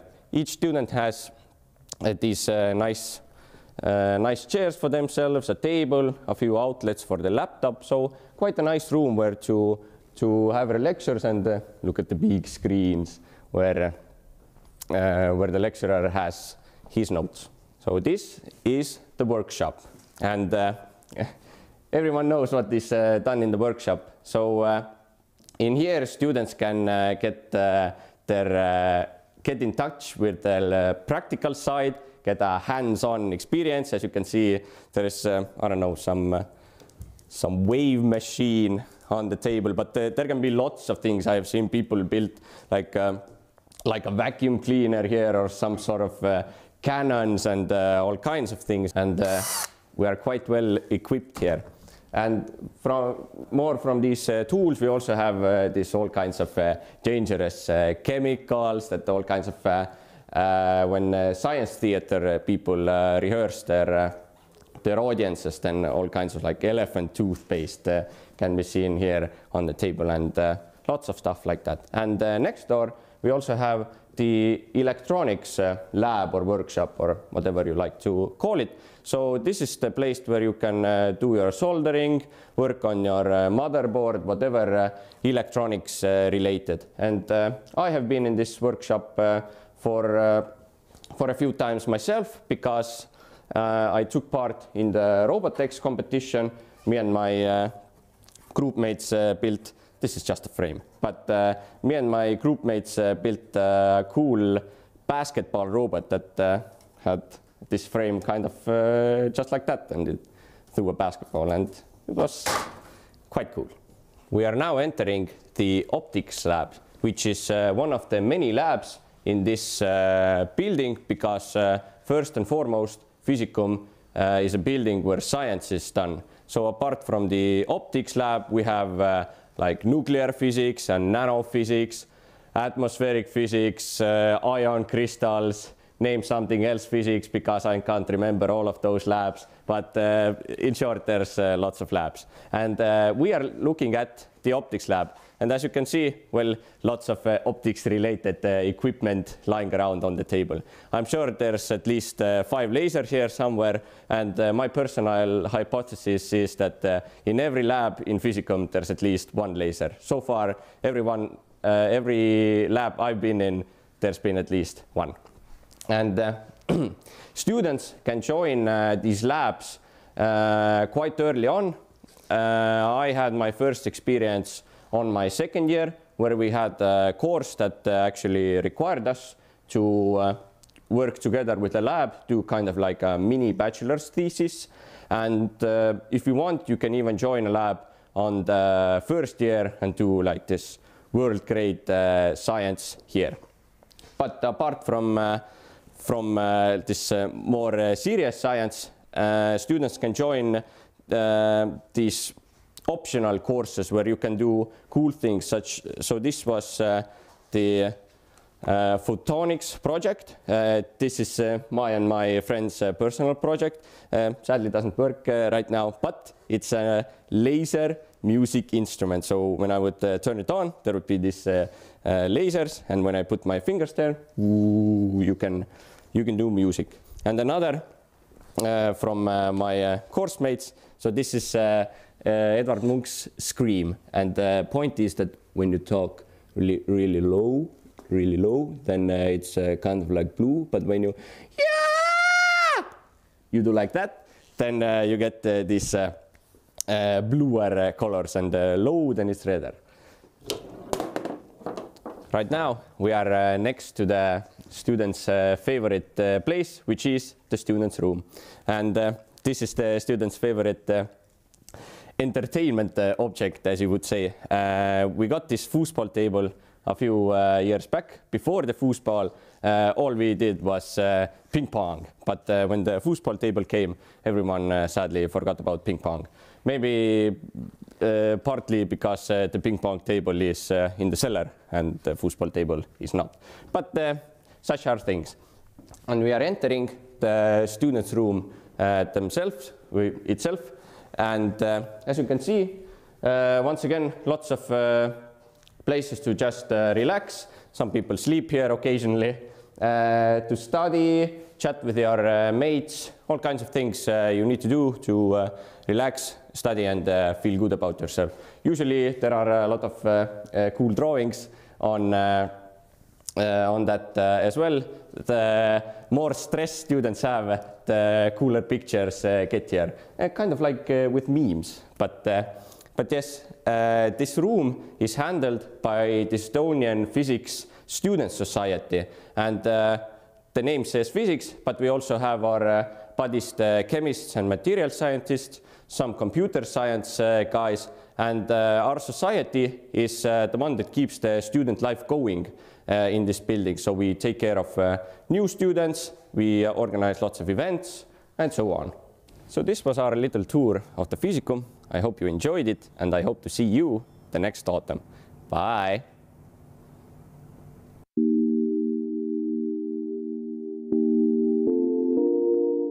Tere, um, my name is Hazar. I'm a master's student of analytical chemistry and welcome to Chemicum. What's here in Chemicum? So Chemicum is the home to University of Tartu's um, Institute of Chemistry. So this building has been over for 10 years and has been funded by Estonian government as part of the research infrastructure projects. So to get here, it's um, 20 minutes by bus from the city center or you could do some walking for 30 minutes if you prefer some exercise. So I will not make this um, intro longer and let's take a look. Okay, so now we're here at the lobby of Chemicum. So you can see right here it's very open and very spacious and I think you can see about everything from here. So you can see the, the library and then you can also see the cafeteria and some rooms here. And so um, let's take a walk and show where we're headed. If we need some help with something or we want to locate something that we're not sure where it is, we can ask for the information desk. Okay, now we're here at the Chemicum Library. So what can you find here? So everything chemistry related resources, so books, um, journals, newsletters, you can find it here. And if you're also looking for um, online resources, we also have um, PCs upstairs. And if you don't have a PC, you can always access UT's Wi-Fi network, so there would be no problem for you.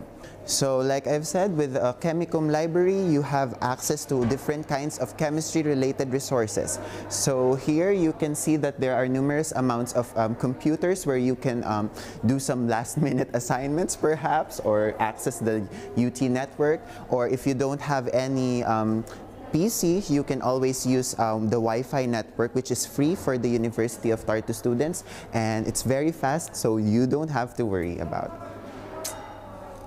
So here at Chemicum, we are proud to present and recognize our notable um, university alumni and professors that made significant contributions to the scientific community as well as the society. So here we present to you um, some notable professors and alumni of the university. One of those is Wilhelm Ostwald. So if you know Wilhelm Ostwald, he's a scientist, a chemist who was working with chemical kinetics and chemical equilibria and he won the Nobel Prize in Chemistry in 1909. So there you go. Now we enter the Chemicum Auditorium. So you can see here where our classes mostly take place. So here you can see that there are a lot of seats that are very comfortable and very spacious. And here uh, we are encouraged to um, participate in learning discussions with the different students and different teachers. So that is in order to uh, promote uh, stimulated learning and just do some brainstorming. Okay, so we're now here at the most important area of the Chemicum building. So, so far we've discussed all these places, but we haven't gone to the most important. Chemistry is nothing without the laboratory, right? So, before we enter the lab, always, safety first. So let's take a look inside of the teaching lab. What I like here in the teaching lab is that they have this um, complete facilities where students can engage in different kinds of experiments. So here you can do um, simple chemical reactions or you could also work with the laboratory's big guns. So you can see that there are lots of fancy um, equipment right here where students can do their experiments, their chemical analysis. And let's take a look at one of them. So how are you doing? Hi, thank you. Yeah. And you? I'm good. So what, what, what, what is this? Can you tell me something about? This is a chromatogram Mhm. and we are doing um, a specific analysis here. Uh-huh. So I'm waiting for the results. Oh, okay. Well, that's nice. Yeah. And here, Hello. hi. What, what are you doing? Um, I'm doing gas chromatography. Mm-hmm. Wow. And you're doing some analysis right there? Yes, yes. What I like about Chemicum's teaching lab personally is that aside from its um, big facility, you can also see that we have um, very expansive views from the outside of the outside. So it feels like it, the area is very breathable. But just to remember not to inhale any chemical fumes from your experiments. We have fume hoods and vacuum vents for that, okay? So from the teaching labs, we now go to some um, research labs. So one of University of Tartu's uh, um, main research labs here is the NMR lab in Chemicum. So like I've said before, this is one of the lab, um, university's big guns. So what can we do here? So for applications, when we do some analysis, chemical analysis, we want to identify a particular, um, let's say, molecule organic molecule for some sorry for the technical jargons but yeah here you can see this big magnetic instrument and you can um, with this instrument you can elucidate some chemical structures identify specific compounds that you want to purify or isolate and that's it. We're at the second most important area of chemicum so we're hungry so we need food so let's take a look at the cafeteria or what we like to call it the coffee. Yeah, hope I said it right. so um, here you can see that the area is very spacious and you can have a lot of comfortable chairs to sit on and do some chit chat with your classmates and do some assignments again and in terms of the food, they have a wide selection, so whatever you need, they have it from main course, vegan options, pastries, desserts, soups, you name it. Also beverages, and not to mention it's very cheap. So food here costs around 5 euros in general, so that's a pretty good deal. So that's it for me. This was Chemicum. My name is Hazar, and see you soon here in Tartu. Bye.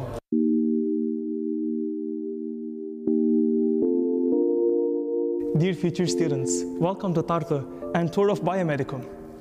This building is home for Faculty of Medicine and all medical, dentistry, physiotherapy and pharmacy students have at least for once have visited here. We're glad to have you along our tour in Biomedicum.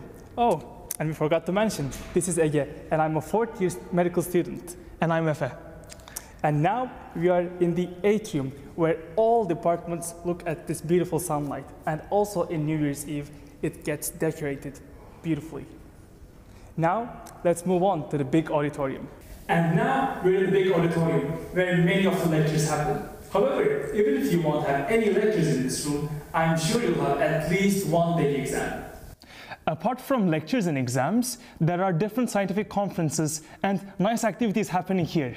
Now, let's move on to the practical teaching classes. After all, I feel like studying all of this all over again. Oh, I got you covered. Oh, thank you. Welcome to our library. Here, you will, you will find many different resources, medical textbooks, journal articles, and at the backside, you can have access to online databases. And surely you will find yourself cramming for the tests here. And now we're in one of the practical teaching classes, the microbiology lab. Here, we get to stain different microorganisms and then look at them under the light microscope to see their structure and their disease-causing mechanisms, to learn more about them.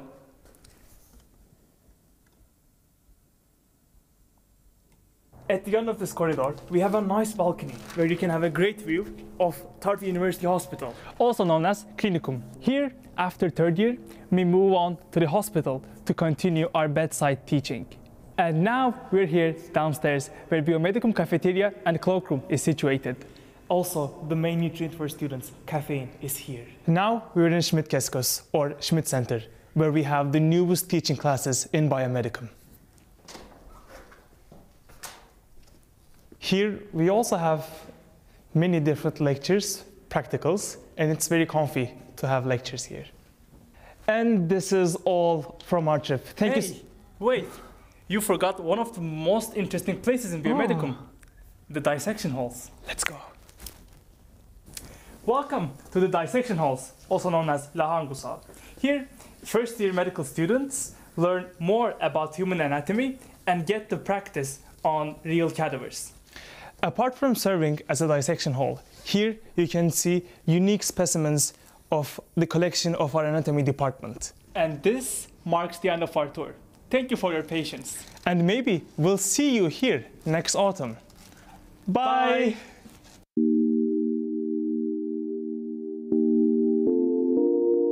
Hi everyone. Uh, welcome to the Institute of Technology. My name is Artemi and I'll be your guide today. So this is the first room when you enter the building. Here you can leave your coat, go grab a snack, or go straight to the classroom.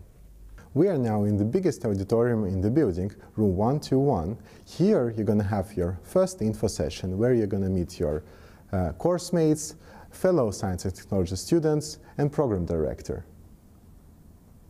And here, after three years of wor hard work, you're going to defend your thesis. Institute of Technology is an interesting place. Here, on one floor, you can meet plant biologist and also robotic specialist. Let's start with the plants, shall we? Welcome to the plant paradise. Here we grow some common plants in ideal conditions, ideal humidity, ideal temperature, ideal dark light cycle, and all in the name of science. When the plants are ready, we transfer them to the gas exchange chamber. So let's take a look at that. Here you see our miracle machine, or state-of-the-art device, which was designed and built in the Institute of Technology. This uh, uh, device allows uh, researchers to check how different mutations affect the gas exchange in the plants. And in the nutshell, how we can save fresh water in agriculture. So we are now in robotics wing. Here, researchers think of different things. For example, how to make online shopper better by uh, making robots take the shape of your body so you can see how it fits. Or how robots can mix you a drink or a cup of coffee or even more, how soft robots, which mimic uh, biology, can revolutionize future medicine. When doing biology experiments, you first need to sterilize things, your equipment, as well as growth medias in this machine called autoclave. And afterwards, when you're doing the experiments, usually they need cold temperature. That's why we always take this slice from the ice machine. So we are now in a, a safety cabinet room. Here, researchers work with the cell culture line, which are very fragile and need to be held in the sterile conditions. Already in the first semester, you will get a practice and work with them here in the safety cabinets. We are in the microscope room uh, where we study yeast cells and their cell cycle with the help of fluorescent microscope. As you can see, you can um, follow the cells uh, from the time course and different positions, and then you get a lot of data which you further analyze on the computer. Okay, guys, if your first thought is uh, UV light, then you are right. And what you see here, these are DNA bands, the same DNA as in every living organism.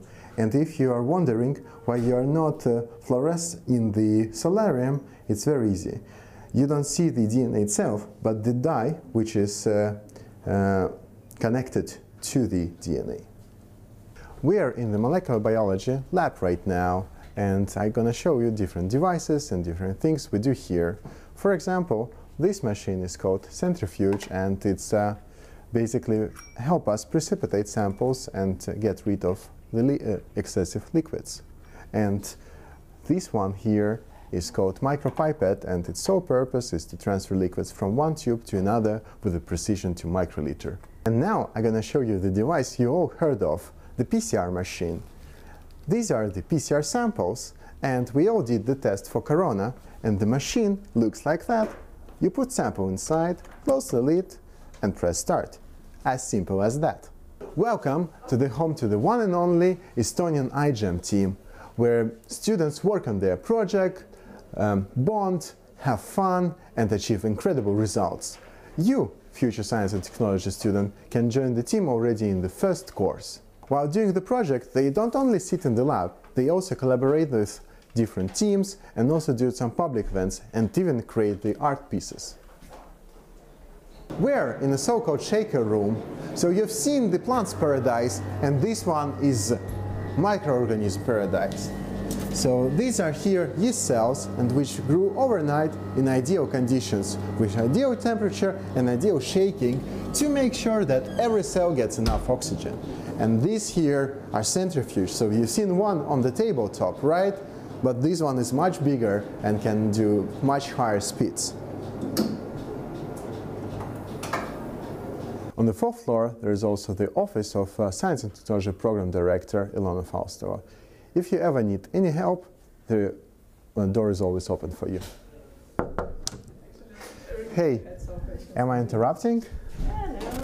So here students can always get help, support, and brainstorm their great ideas. Good luck, guys. If uh, Shaker is a microorganism paradise, then this is Paradise 2.0. Here you can control everything connected to their growth of microorganisms, from the input of fresh media to their pH and temperature and uh, different gases, and you can monitor all that stuff on the computer live. So, we are in the proteomics core facility of the University of Tartu. Here the protein samples are analyzed and determined. And they do that not only for the university, but also for um, customers abroad and even to the cheese farms. Sounds cool, right? And this machine here is HPLC, which uh, can help you determine which chemicals are in solutions.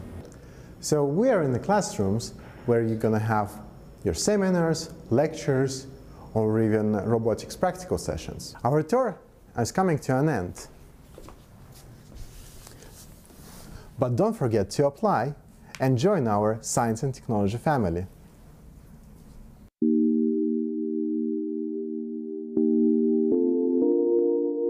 Hi, my name is Aylin. I'm an international student ambassador from Azerbaijan.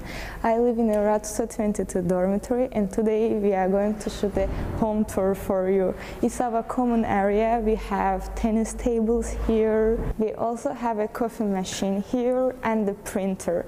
It's the place where we hang out with our friends and play tennis. And here you can check your skin temperature. You should stand here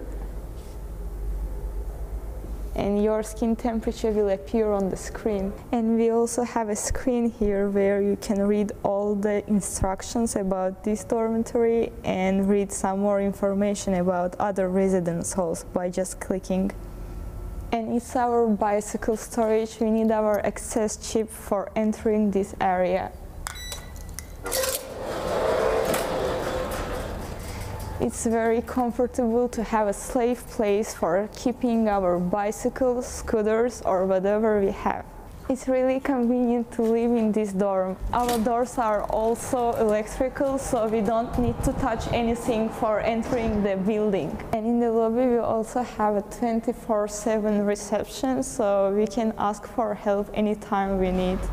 And also on the ground floor we have six rooms for students with reduced mobility and it's our laundry room. Again, we need our access chip for entering this room. We have six washing and six dyeing machines here. Using the machines is free, but we need to bring our own washing detergent. Let's move on to the elevator. Again, we need our access chip.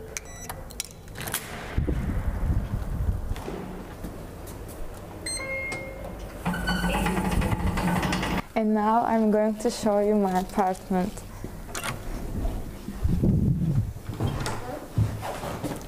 Each apartment has three twin rooms, a common area where we keep our shoes and coats, a toilet and a bathroom.